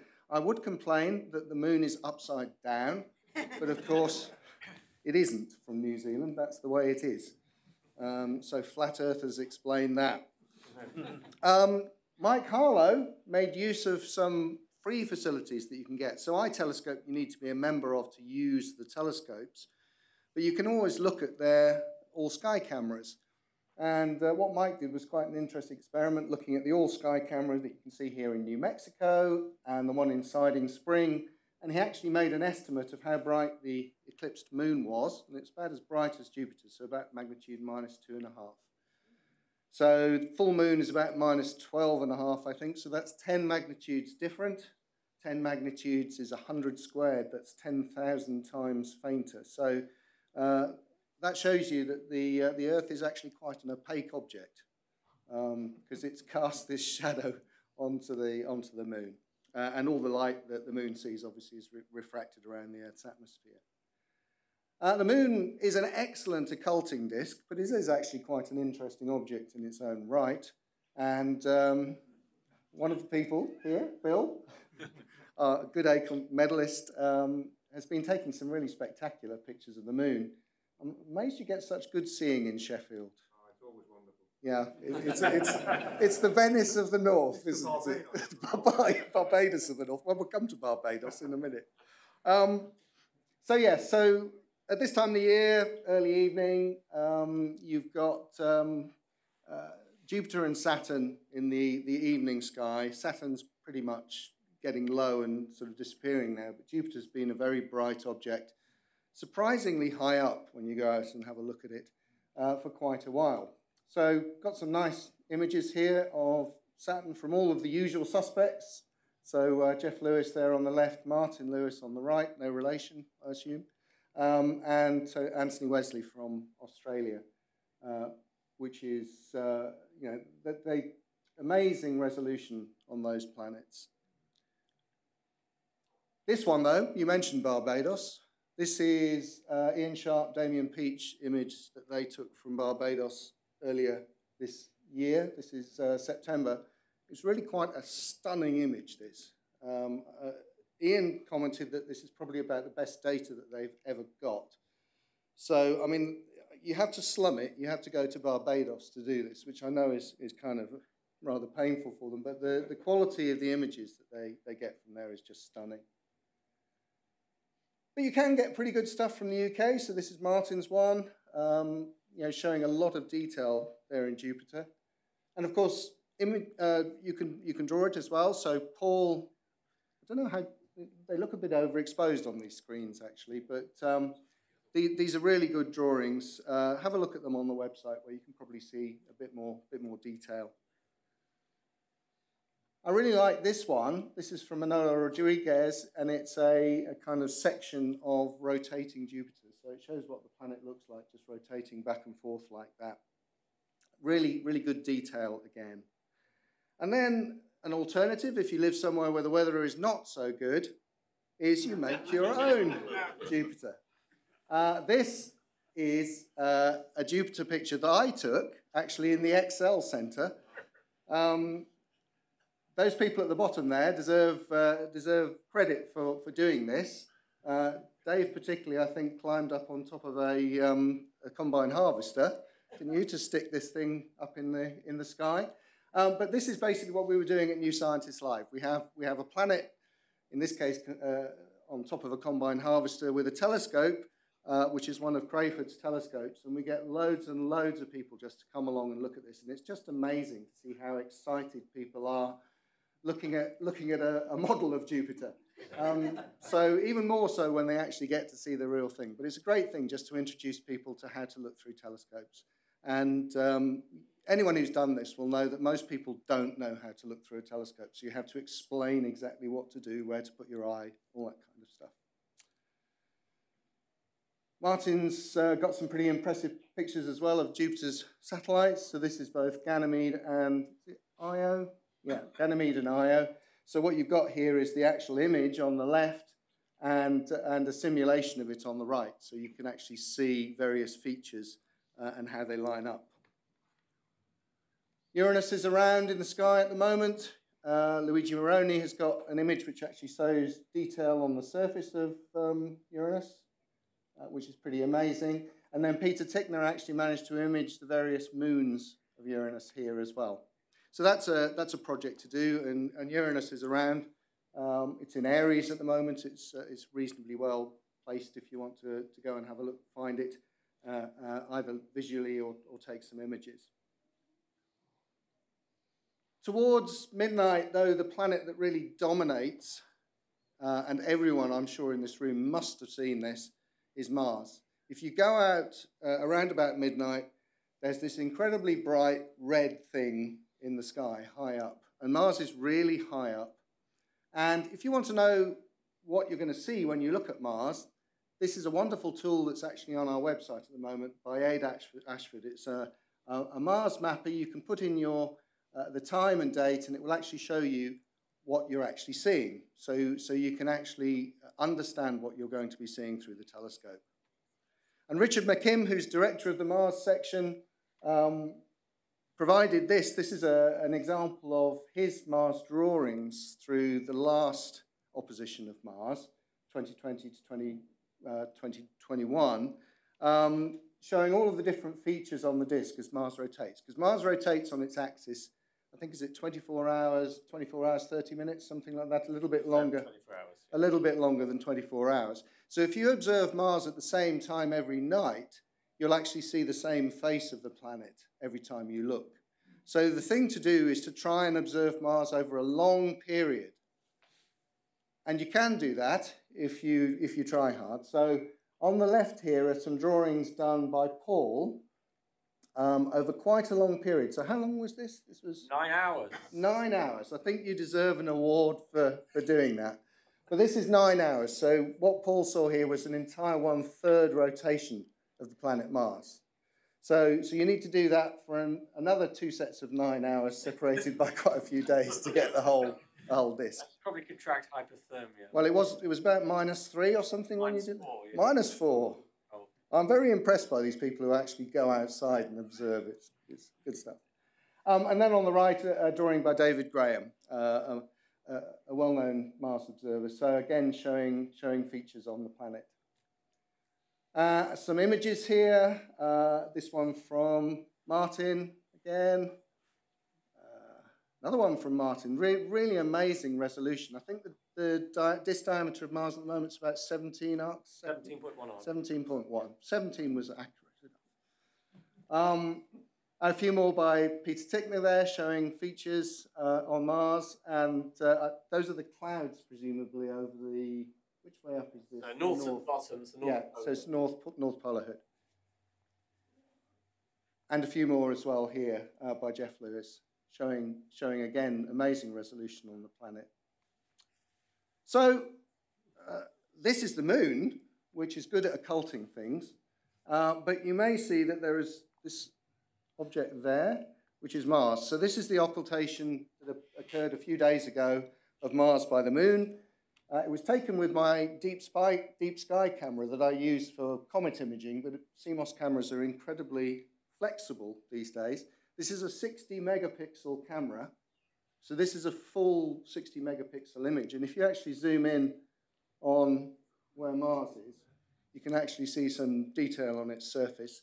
And that big crater there is Grimaldi, so the big dark crater Grimaldi. So I've got quite a few Mars occultation things, which I'll just run through fairly quickly. So this is uh, David, our president, David Arditti's uh, animation uh, of the immersion. So this is Mars going behind the moon. You're seeing David was kind of similar to mine. It's uh, pretty rubbish. yes, that's right. Um, but it took something like 30 seconds to, to disappear behind the moon.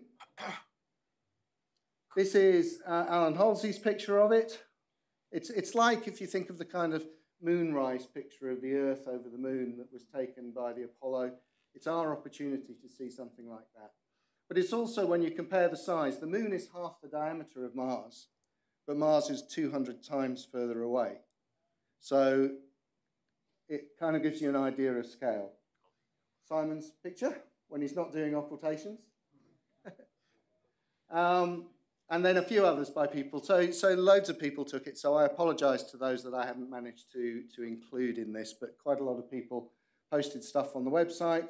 So, so again, Alex, when he wasn't doing occultation work, managed to find some time uh, to do this as well. So this is pretty good, isn't it? This is a single frame from a video, which looks really nice. But if you do some magic on it, you get this. So this is, I think, Martin, this is the best image that I've seen of the occultation. I mean, it really is stunning. It is a bit of a cheat because I think you process the two things separately. Yeah, yeah, yeah. but but you know, it, it's it's yeah, exactly. But it is it is really really really good. Um, so that was the Mars occultation. Um, anyone who missed that, there's another planetary occultation coming up on January the first, which won't be anywhere near as spectacular. It's an occultation of Uranus by the moon, and it's a grazing occultation.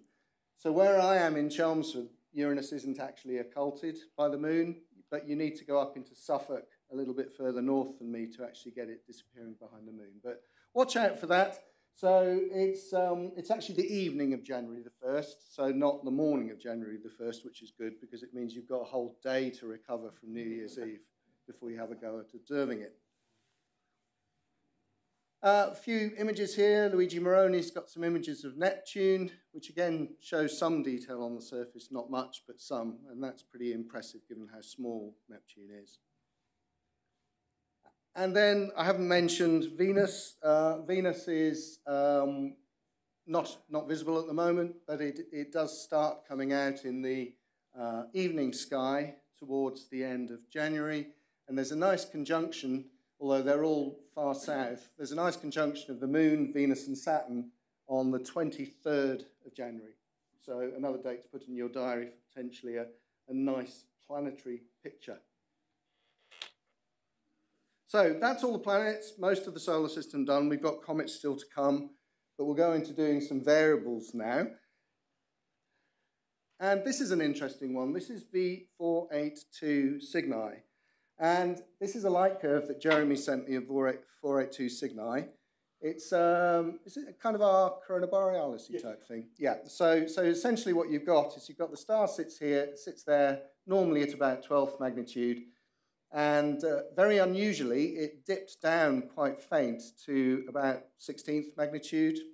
Um, now, you can see there are some points here which don't fit in with this light curve. And you might say, well, why, why is that? They're mine, yeah. I need to delete them from the database. And uh, the reason is, is that this star is irritatingly close to a 13th magnitude star, this one here. Um, and all of my photometry is automated, and I don't actually bother looking at it, and I just put all the data in. So I, I, Gary said to me, there's something wrong, something wrong with your magnitude estimates.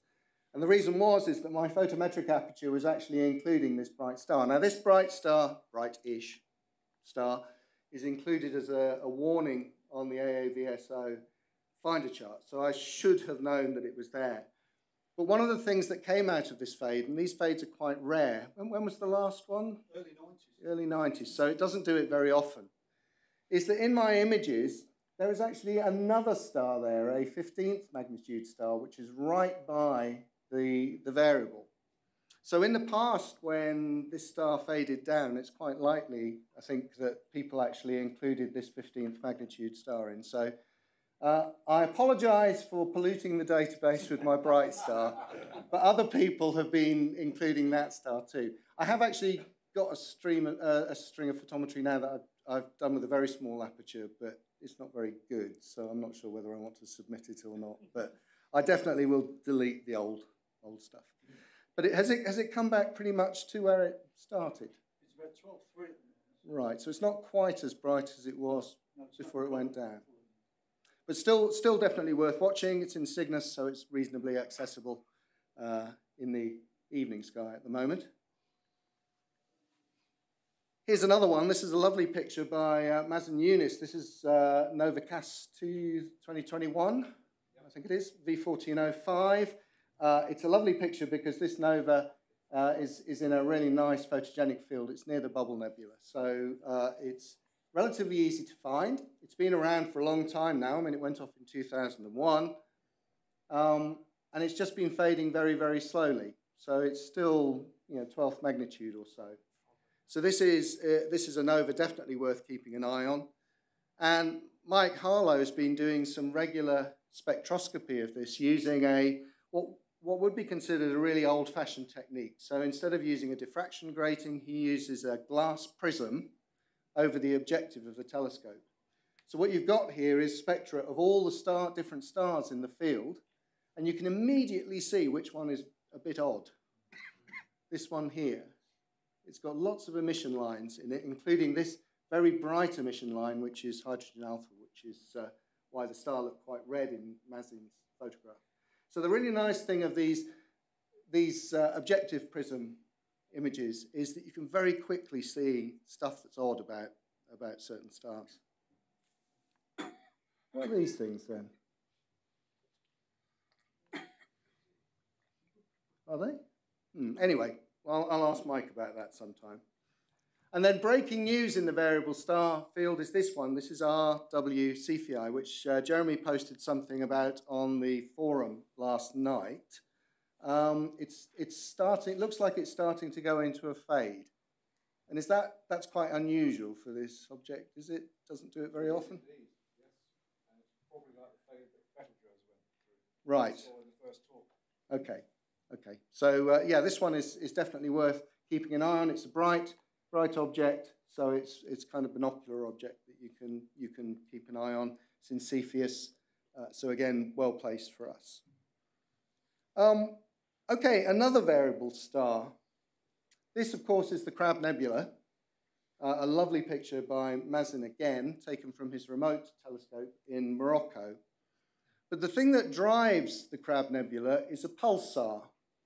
At the center of this uh, nebula is a, a, pulsar, which is a neutron star, and that neutron star is rotating, I think it's about 30 times a second or so, the Crab pulsar.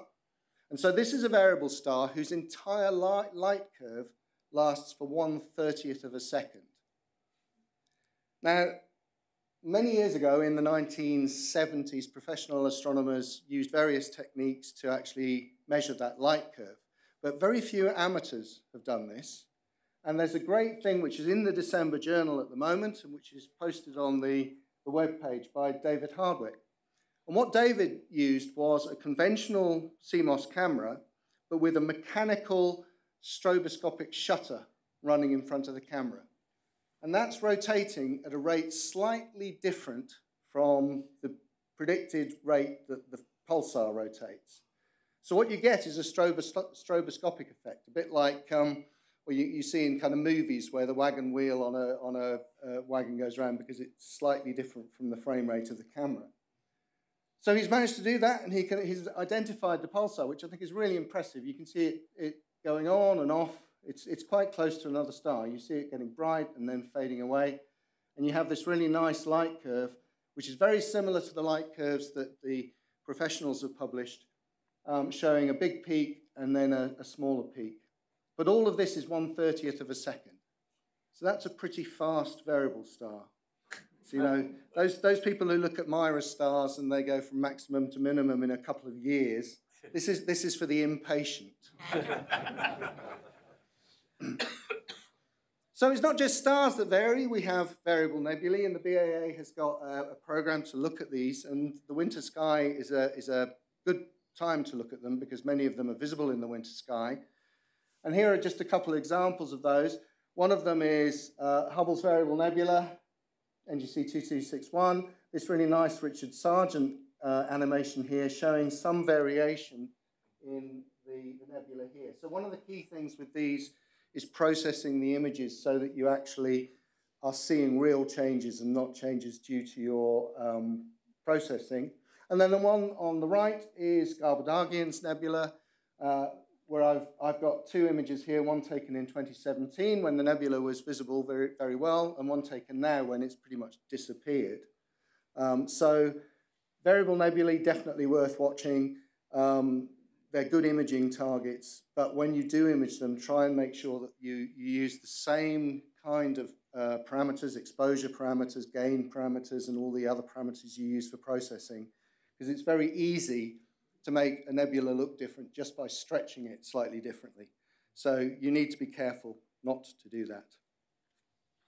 So comets, there are a few around. This one, in fact, Simon, could you just turn the lights down a little bit, please? Thank you. Um, so this is uh, Comet 29P, Schwassmann-Wachmann, which is a very large comet uh, that orbits around the distance of Jupiter. So it's in an almost circular orbit. Um, it regularly seems to go into outbursts. And, and Richard Miles here is, runs a project for the BAA called Mission 29P to, to get observations of this. And since Richard's been running this project uh, with a large number of groups around the world, uh, we've, we've collected so much more data on this object than, than before. But this is an outburst that occurred somewhere between um, the 20th and the 22nd of November. The, the one with the line on it is where, what it looked like before the outburst, and then two days later, it had moved across the sky and gone into outburst and became much brighter.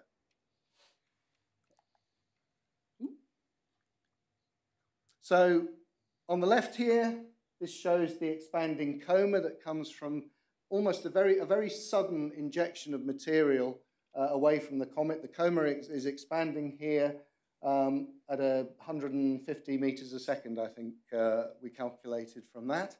That's taken with, with a small telescope. That's with my telescope, a, a 0.28 meter telescope. The one on the right, though, was taken with a two meter telescope. So there's a group called Comet Chasers, which Richard is closely involved in, that uh, allows them access to the Faulkes telescopes, which gives really exqu exquisite data, so very high resolution data. You can see lots and lots of interesting features in that comet as it expands away. So anyone who's interested in joining that project, please just go on the BAA Comet Section webpage, have a look for mission 29P, and it'll tell you the techniques you need to do to, to look for this. But it's a really exciting object to observe. This is the recent light curve that I've uh, taken off the webpage, just showing how many outbursts this comet has had um, over a very short period. It's, it's extremely active at the moment. If you want to know why it's active and what it does, collar Richard later, because he's probably one of the world experts on this, this object. A few other comments around. Uh, this one is, which one is this? This is 2020 V2, I think, isn't it? Yeah. Um, so this is a Peter Carson picture of 2020 V2. But the one that we're probably all going to be interested in is this one. This is 2022 E3 ZTF. The reason we're going to be interested in it is it's actually brightening quite rapidly, and it may become a naked eye object from a dark site at the end of January or into February next year. It's going to be very well positioned for us. At the moment, it's in Corona Borealis, moving slowly north in Corona, which makes it a morning object. But when it's at its closest to us, it'll be racing across the sky just underneath the pole of the sky. So right the way here through Ursa Minor into Camelopardalis Pardalis and then into uh, Auriga. So really well, well placed for us. It may be possibly fifth magnitude. It will be quite diffuse, but it should be quite a good object. So spacecraft. I just wanted to show this. Uh, this is uh, from my Zenith camera. This looks up into the sky, looking for meteors and things. Pretty much everything that you see on this is a satellite in low Earth orbit. This is about an hour and 20 minutes compressed into 90 seconds. Now, if you think things are bad with Starlink, you need to look for a thing called Blue Walker. Blue Walker is a set of satellites that are intended to allow communication direct to your mobile phone. It has a huge antenna on it, and Blue Walker is likely to be very bright, and there are probably going to be quite a few of them. So you know, Starlink is, is nothing compared to these. So, so watch out for Blue Walker. It is visible from here um, every now and again. It's kind of it gets to about first or second magnitude. Um, so it's a bright object. So this is the launch of the Space Launch System, uh, which I thought would never get off the ground, but it did. And it launched the Orion spacecraft to the moon. So it's not received a huge amount of news coverage, but here is Orion with the moon in the background. It went into a distant retrograde orbit around the moon and it's now on its way back on a free return trajectory. It's actually visible to us at the moment. So here's um, uh, Grant Privett's picture of it. You can see it moving in the image there between the two frames. Um, it's well placed for us to see. This is my time lapse of it I took the other night. And uh, Nigel Evans has also, also done one here. Uh, where is it? There it is, moving across the, the middle. So this is the Orion capsule falling back towards the Earth. It's interesting to, to observe it. I mean, not scientifically interesting, but just interesting to observe it. And what I've done is I've actually measured the position of this against the stars. So I've got some astrometry you can put that into a program and you can actually calculate the orbit. Um, so this is the, the current orbit of the Orion capsule, and you can see on here, it comes to a perigee of 6,536 kilometers on uh, the, the 11th of December in 1727. So the Earth's radius is 6,400. So that's saying this thing is coming to about 130 kilometers above the Earth and it's, it's good to know that that actually lines up with when NASA expects it to come back and splash down. this time last year, we were all getting ready for the launch of James Webb Space Telescope. And of course, that launch went really well. The deployment went really well, and we ended up with an extraordinary telescope in Earth orbit, which has been sending back some incredible images. So this is one I really like. This is Stephan's Quintet, taken by JWST. Uh, download the original image, which is huge, and you can zoom in on different bits of it. And it just shows what an incredible instrument that is, the JWST. And so just incredibly relieved that it got there. I remember watching it on Christmas Day, um, at lunchtime Christmas Day, just watching the launch and just hoping that it got up there, and it did. Um, these are pretty impressive. These are images of Titan in different wavelengths. Um, some wavelengths can actually see the surface, so they can see the methane oceans on Titan. So my last section is about NEO's fireballs and meteors. So Simon talked about how important it is to know where near-Earth objects are.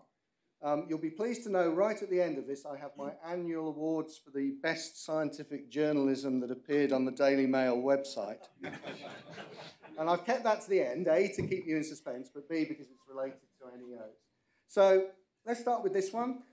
Um, ESA have just uh, set up a, a big um, website associated with tracking NEOs. And as part of the way of getting some publicity on that, they've chosen a particular asteroid, which is this one, 2015 RN35, as a target for what they're calling their Christmas asteroid. So this thing is about 14th magnitude. It's going to come fairly close to the Earth. It's not easily visible. Well, it's not visible well, it is visible, but it's very low declination at the moment. It's, uh, it's a southern hemisphere object, but after close approach on the 15th of December, it will actually be a northern hemisphere object. So they're asking for people to take images of it and submit them to this website. They, they've got quite a useful um, sort of what's risky about asteroids. You know, how big is the Earth? Um, how, how close does an asteroid have to come to be, to be dangerous? Um, and, and they've got also a thing on here which actually says, you know, for a certain diameter of asteroid, this is the kind of da damage it would cause. So it's, a, it's worth going and having a look on that. And if you do get some images of this, send them to ESA, but send them to us as well. Um, it may surprise you to know that we have actually imaged six asteroids that have hit the Earth. So we've dis discovered them before they've hit the Earth. They've all been very, very small. And the most recent one of them is this one, 2022 WJ1, which was discovered on the morning of the 19th of November and actually came into the Earth's atmosphere over Toronto three hours after it was discovered.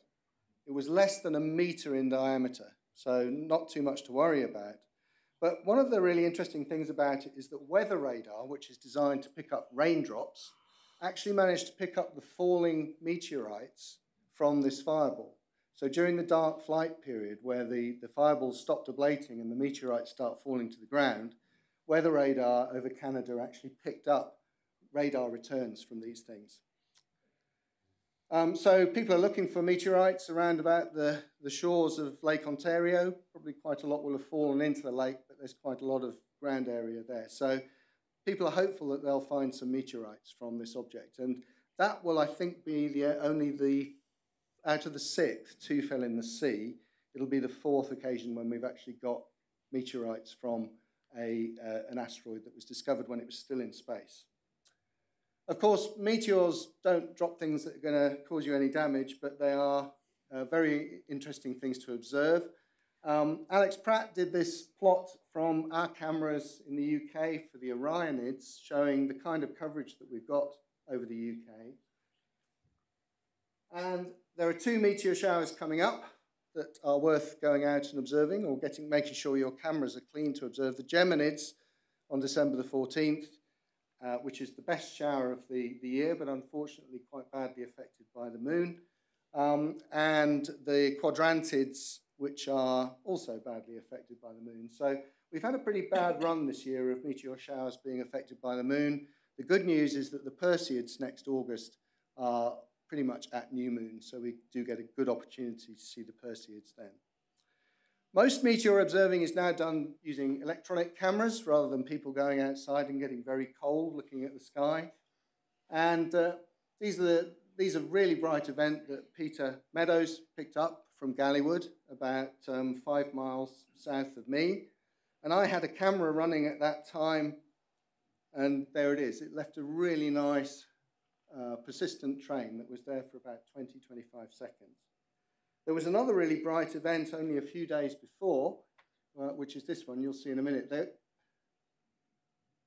which, which broke up and again left a really nice persistent train.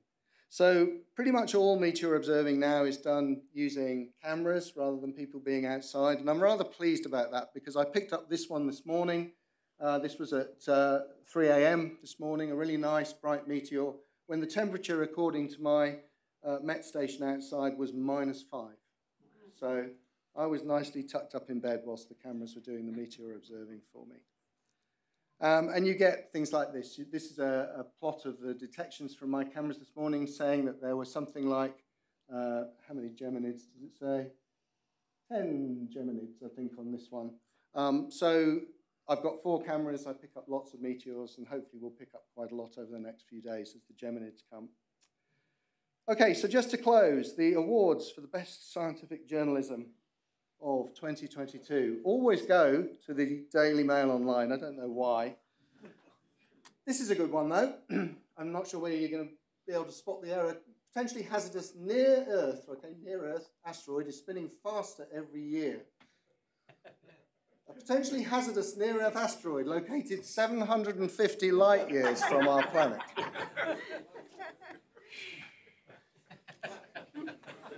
Good, isn't it?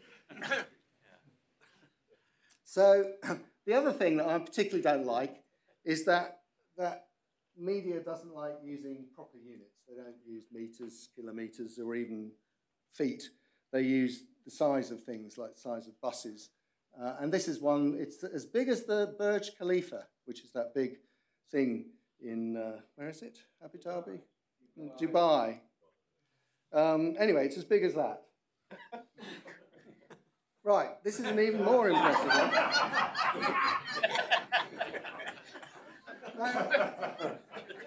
I think I think the Daily Mail are having me on because a couple of years ago they did another one where they used a giraffe as the standard size of a near Earth object. So I think somebody in the Daily Mail is doing this on purpose. Anyway, it's quite funny. um, but it's not just the Daily Mail. So I actually came across something the other day at work. I was looking through a, um, a review of satellite threats in near Earth orbit, and somebody had written this Space is also vast. The realm of useful orbit is estimated to have a volume of some 24 million million cubic miles. Has anyone got any idea what that means? uh, this, this was. Uh, yeah, probably, but but it's just it's just a really bizarre thing. And this was supposedly in a in a sort of professional report on the threat of near Earth of, of threat of low Earth orbit satellites to uh, to us on the Earth and other orbiting objects. So no, it's not quite in the the 750 million light years away near Earth objects, but it's uh, it's bizarre stuff. So anyway. Uh, anyone comes across any of these things, please send them to me because I collect them to use in the Christmas meeting and hopefully. Uh, I'd like to do, find some from something that wasn't the Daily Mail online, but they do seem to be a very, very uh, good source of these things. Anyway, thank you very much. Thanks for listening. And um, if for those of you who are coming to the Astronomer Pub, we can continue the conversation there. Have a very, very happy Christmas and a prosperous new year and hopefully see you all back here sometime. Well, it's end of January, I think our next meeting is. Thank you very much.